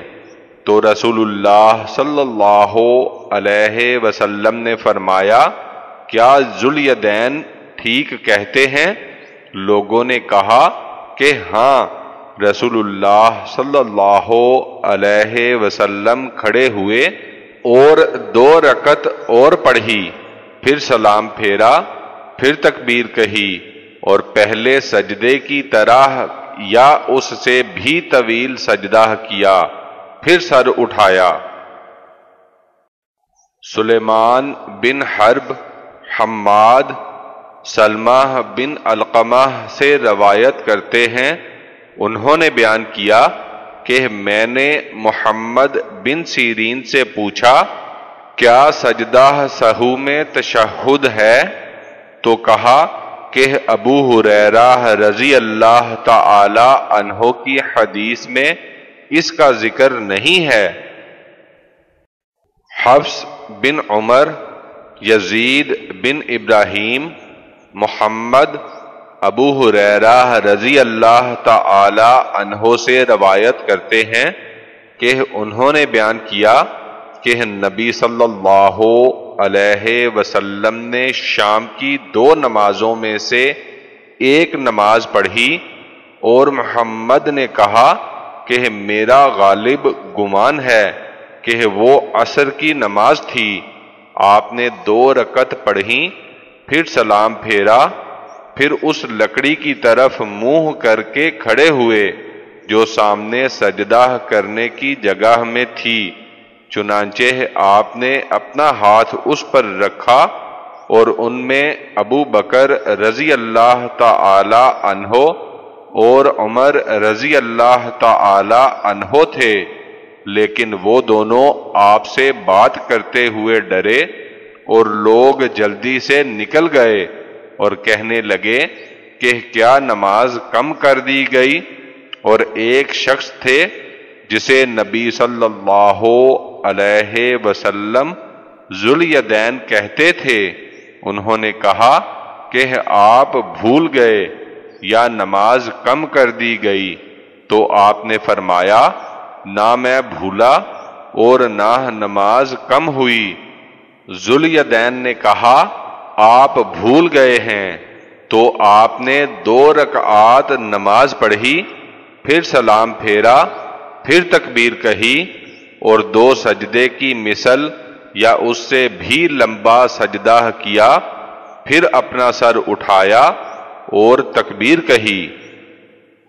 قطبہ بن سعید لیس ابن شہاب آرج عبداللہ بن بحینہ اسدی، جو بنی عبد المطلب کے حلیف تھے، سے روایت کرتے ہیں کہ رسول اللہ صلی اللہ علیہ وسلم ظہر کی نماز میں کھڑے ہو گئے۔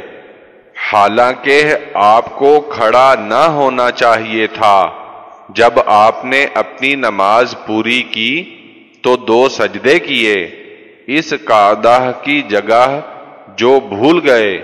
ابن جریج نے ابن شہاب سے تکبیر کے متعلق اس کے مطابق حدیث روایت کی ہے۔ معاذ بن فضالہ، ہشام بن عبداللہ دستوائی یاہیا بن ابی کثیر، ابو سلمہ، ابو حریرہ رضی اللہ تعالی عنہ سے روایت کرتے ہیں کہ نبی صلی اللہ علیہ وسلم نے فرمایا کہ جب نماز کے لیے اذان کہی جاتی ہے تو شیطان گوز مارتا ہوا بھاگتا ہے تاکہ اذان کو نہ سنے اور جب اذان ختم ہو جاتی ہے تو واپس آ جاتا ہے۔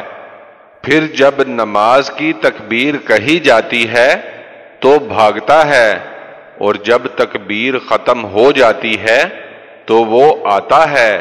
یہاں تک کہ انسان اور اس کے دل میں خطرہ اور وسوسہ پیدا کرتا ہے اور کہتا ہے کہ فلاں فلاں باتیں یاد کر جو یاد نہیں آتی تھیں۔ یہاں تک کہ آدمی ایسا ہو جاتا ہے کہ اسے یاد نہیں رہتا کہ کتنی نماز پڑھی۔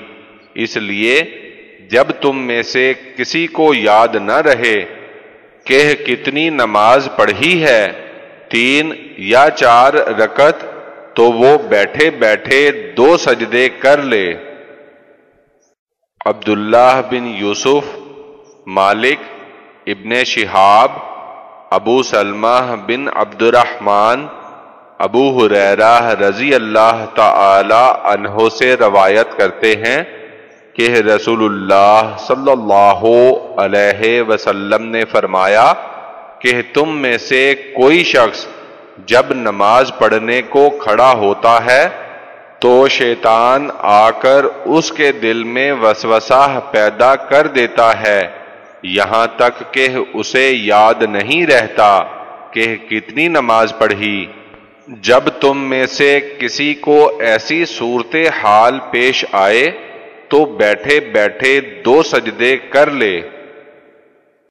یاہیا بن سلیمان، ابن وہب، امرو، بکیر، قریب، ابن عباس اور مصور بن مخرمہ اور عبد الرحمن بن اظہر رضی اللہ تعالی عنہ سے روایت کرتے ہیں کہ ان حضرات نے قریب کو عائشہ رضی اللہ تعالی عنہا کے پاس بھیجا اور کہا کہ تم ان کے پاس جا کر ہم سب کی طرف سے سلام کہو اور ان سے عصر کی نماز کے بعد دو رکتوں کے متعلق پوچھو اور یہ کہو کہ ہم لوگوں کو معلوم ہوا ہے کہ آپ یہ دونوں رکتیں پڑھتی ہیں۔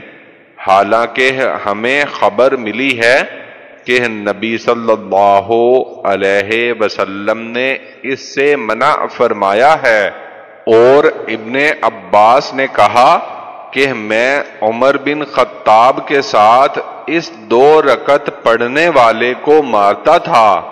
قریب نے کہا، میں عائشہ رضی اللہ تعالی عنہا کے پاس آیا اور انہیں وہ خبر پہنچا دی جو میں لے کر آیا تھا۔ عائشہ رضی اللہ تعالی عنہا نے کہا کہ ام سلمہ رضی اللہ تعالی عنہا سے پوچھو، میں ان لوگوں کے پاس واپس آیا اور وہ بات سنا دی جو عائشہ رضی اللہ تعالی عنہا نے کہی تھی۔ پھر ان لوگوں نے مجھے ام سلمہ کے پاس وہی پیغام دے کر بھیجا، جو عائشہ رضی اللہ تعالی عنہا کے پاس دے کر بھیجا تھا۔ تو ام سلمہ نے بیان کیا، میں نے نبی صلی اللہ علیہ وسلم کو اس سے منع فرماتے ہوئے سنا۔ پھر میں نے عصر کی نماز کے بعد آپ کو انہیں پڑھتے ہوئے دیکھا۔ پھر آپ میرے پاس تشریف لائے اور میرے پاس انصار میں سے بنی حرام کی چند عورتیں بیٹھی ہوئی تھیں۔ میں نے ایک لونڈی کو آپ کے پاس بھیجا اور کہا کہ آپ کے پہلو میں کھڑی ہو جا اور آپ سے بیان کیا کہ ام سلمہ عرض کرتی ہیں کہ یا رسول اللہ صلی اللہ علیہ وسلم، میں نے آپ کو ان دو رکتوں کے پڑھنے سے منع فرماتے ہوئے سنا ہے، اور میں آپ کو دیکھتی ہوں کہ آپ پڑھ رہے ہیں۔ اگر وہ اپنے ہاتھ سے اشارہ کرے تو پیچھے ہٹ جا، چنانچہ لونڈی نے ویسا ہی کیا۔ جب آپ فارغ ہوئے تو فرمایا، اے بنتے ابی امیہ تو نے مجھ سے عصر کے بعد کی دو رکتوں کے متعلق پوچھا۔ عبد القیس کے کچھ لوگ میرے پاس آئے اور انہوں نے مجھ کو ان دو رکتوں کے پڑھنے سے باز رکھا، جو ظہر کے بعد پڑھی جاتی ہیں، اور یہ دونوں رکتیں وہی ہیں۔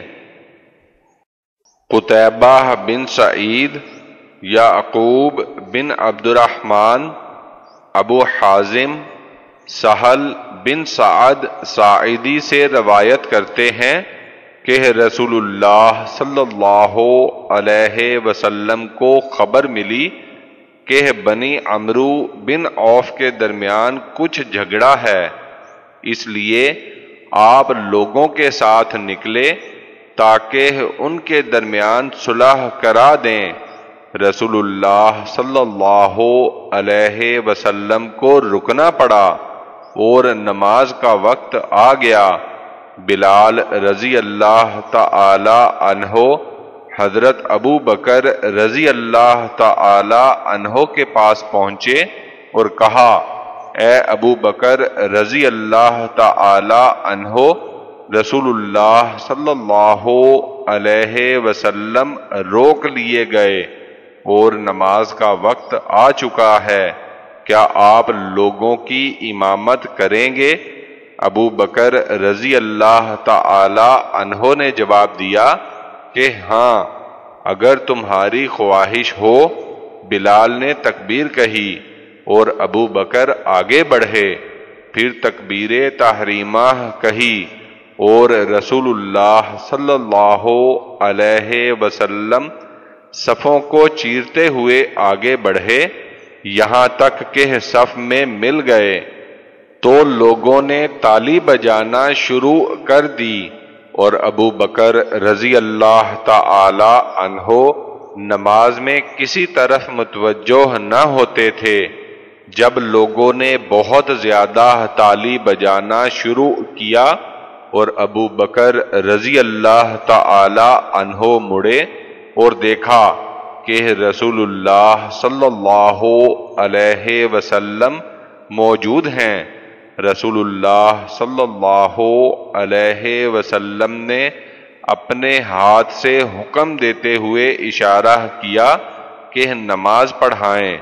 ابو بکر رضی اللہ تعالی عنہ نے اپنے دونوں ہاتھ اٹھائے۔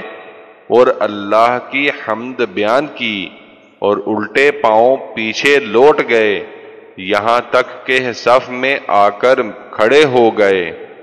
پھر رسول اللہ صلی اللہ علیہ وسلم آگے بڑھے اور لوگوں کو نماز پڑھائی۔ جب فارغ ہوئے تو لوگوں کی طرف متوجہ ہوئے اور فرمایا کہ اے لوگوں تمہیں کیا ہو گیا ہے کہ جب نماز میں تمہیں کوئی بات پیش آتی ہے تو تالی بجانا شروع کر دیتے ہو۔ حالانکہ تالی بجانا عورتوں کے لیے ہے۔ جب نماز میں کوئی بات پیش آئے تو سبحان اللہ کہنا چاہیے۔ اس لیے جو شخص بھی سبحان اللہ کہتے ہوئے سنے گا وہ ضرور متوجہ ہوگا۔ پھر ابو بکر کی طرف متوجہ ہو کر فرمایا، اے ابو بکر رضی اللہ تعالی عنہ، تمہیں کس چیز نے نماز پڑھانے سے روکا؟ جبکہ میں نے تمہیں نماز پڑھانے کا اشارہ کیا۔ ابو بکر رضی اللہ تعالی عنہ نے عرض کیا ابو قحافہ کے بیٹے کے لیے مناسب نہ تھا کہ رسول اللہ صلی اللہ علیہ وسلم کے آگے نماز پڑھائے۔ یاہیا بن سلیمان، ابن وحب سوری، ہشام، فاطمہ اسما رضی اللہ تعالی عنہ سے روایت کرتے ہیں کہ میں عائشہ رضی اللہ تعالی عنہا کے پاس پہنچی، اس حال میں کہ وہ کھڑی ہو کر نماز پڑھ رہی تھی اور لوگ بھی کھڑے تھے۔ تو میں نے کہا، لوگوں کا کیا حال ہے؟ تو انہوں نے اپنے سر سے آسمان کی طرف اشارہ کیا۔ میں نے کہا، کیا کوئی نشانی ہے؟ تو انہوں نے اپنے سر سے اشارہ کیا یعنی ہاں کہا۔ اسماعیل مالک ہشام اپنے والد سے اور وہ زوجہ نبی صلی اللہ علیہ وسلم حضرت عائشہ رضی اللہ تعالی عنہا سے روایت کرتے ہیں۔ کہ رسول اللہ صلی اللہ علیہ وسلم نے اپنی بیماری کی حالت میں اپنے گھر میں بیٹھ کر نماز پڑھی اور آپ کے پیچھے قوم نے کھڑے ہو کر نماز پڑھی تو آپ نے لوگوں کی طرف اشارہ کیا کہ بیٹھ جاؤ، جب نماز سے فارغ ہوئے تو فرمایا کہ امام اس لیے بنایا گیا ہے کہ اس کی اقتدا کی جائے۔ اس لیے جب وہ رکوع کرے تو تم بھی رکوع کرو، اور جب وہ سر اٹھائے تو تم بھی سر اٹھاؤ۔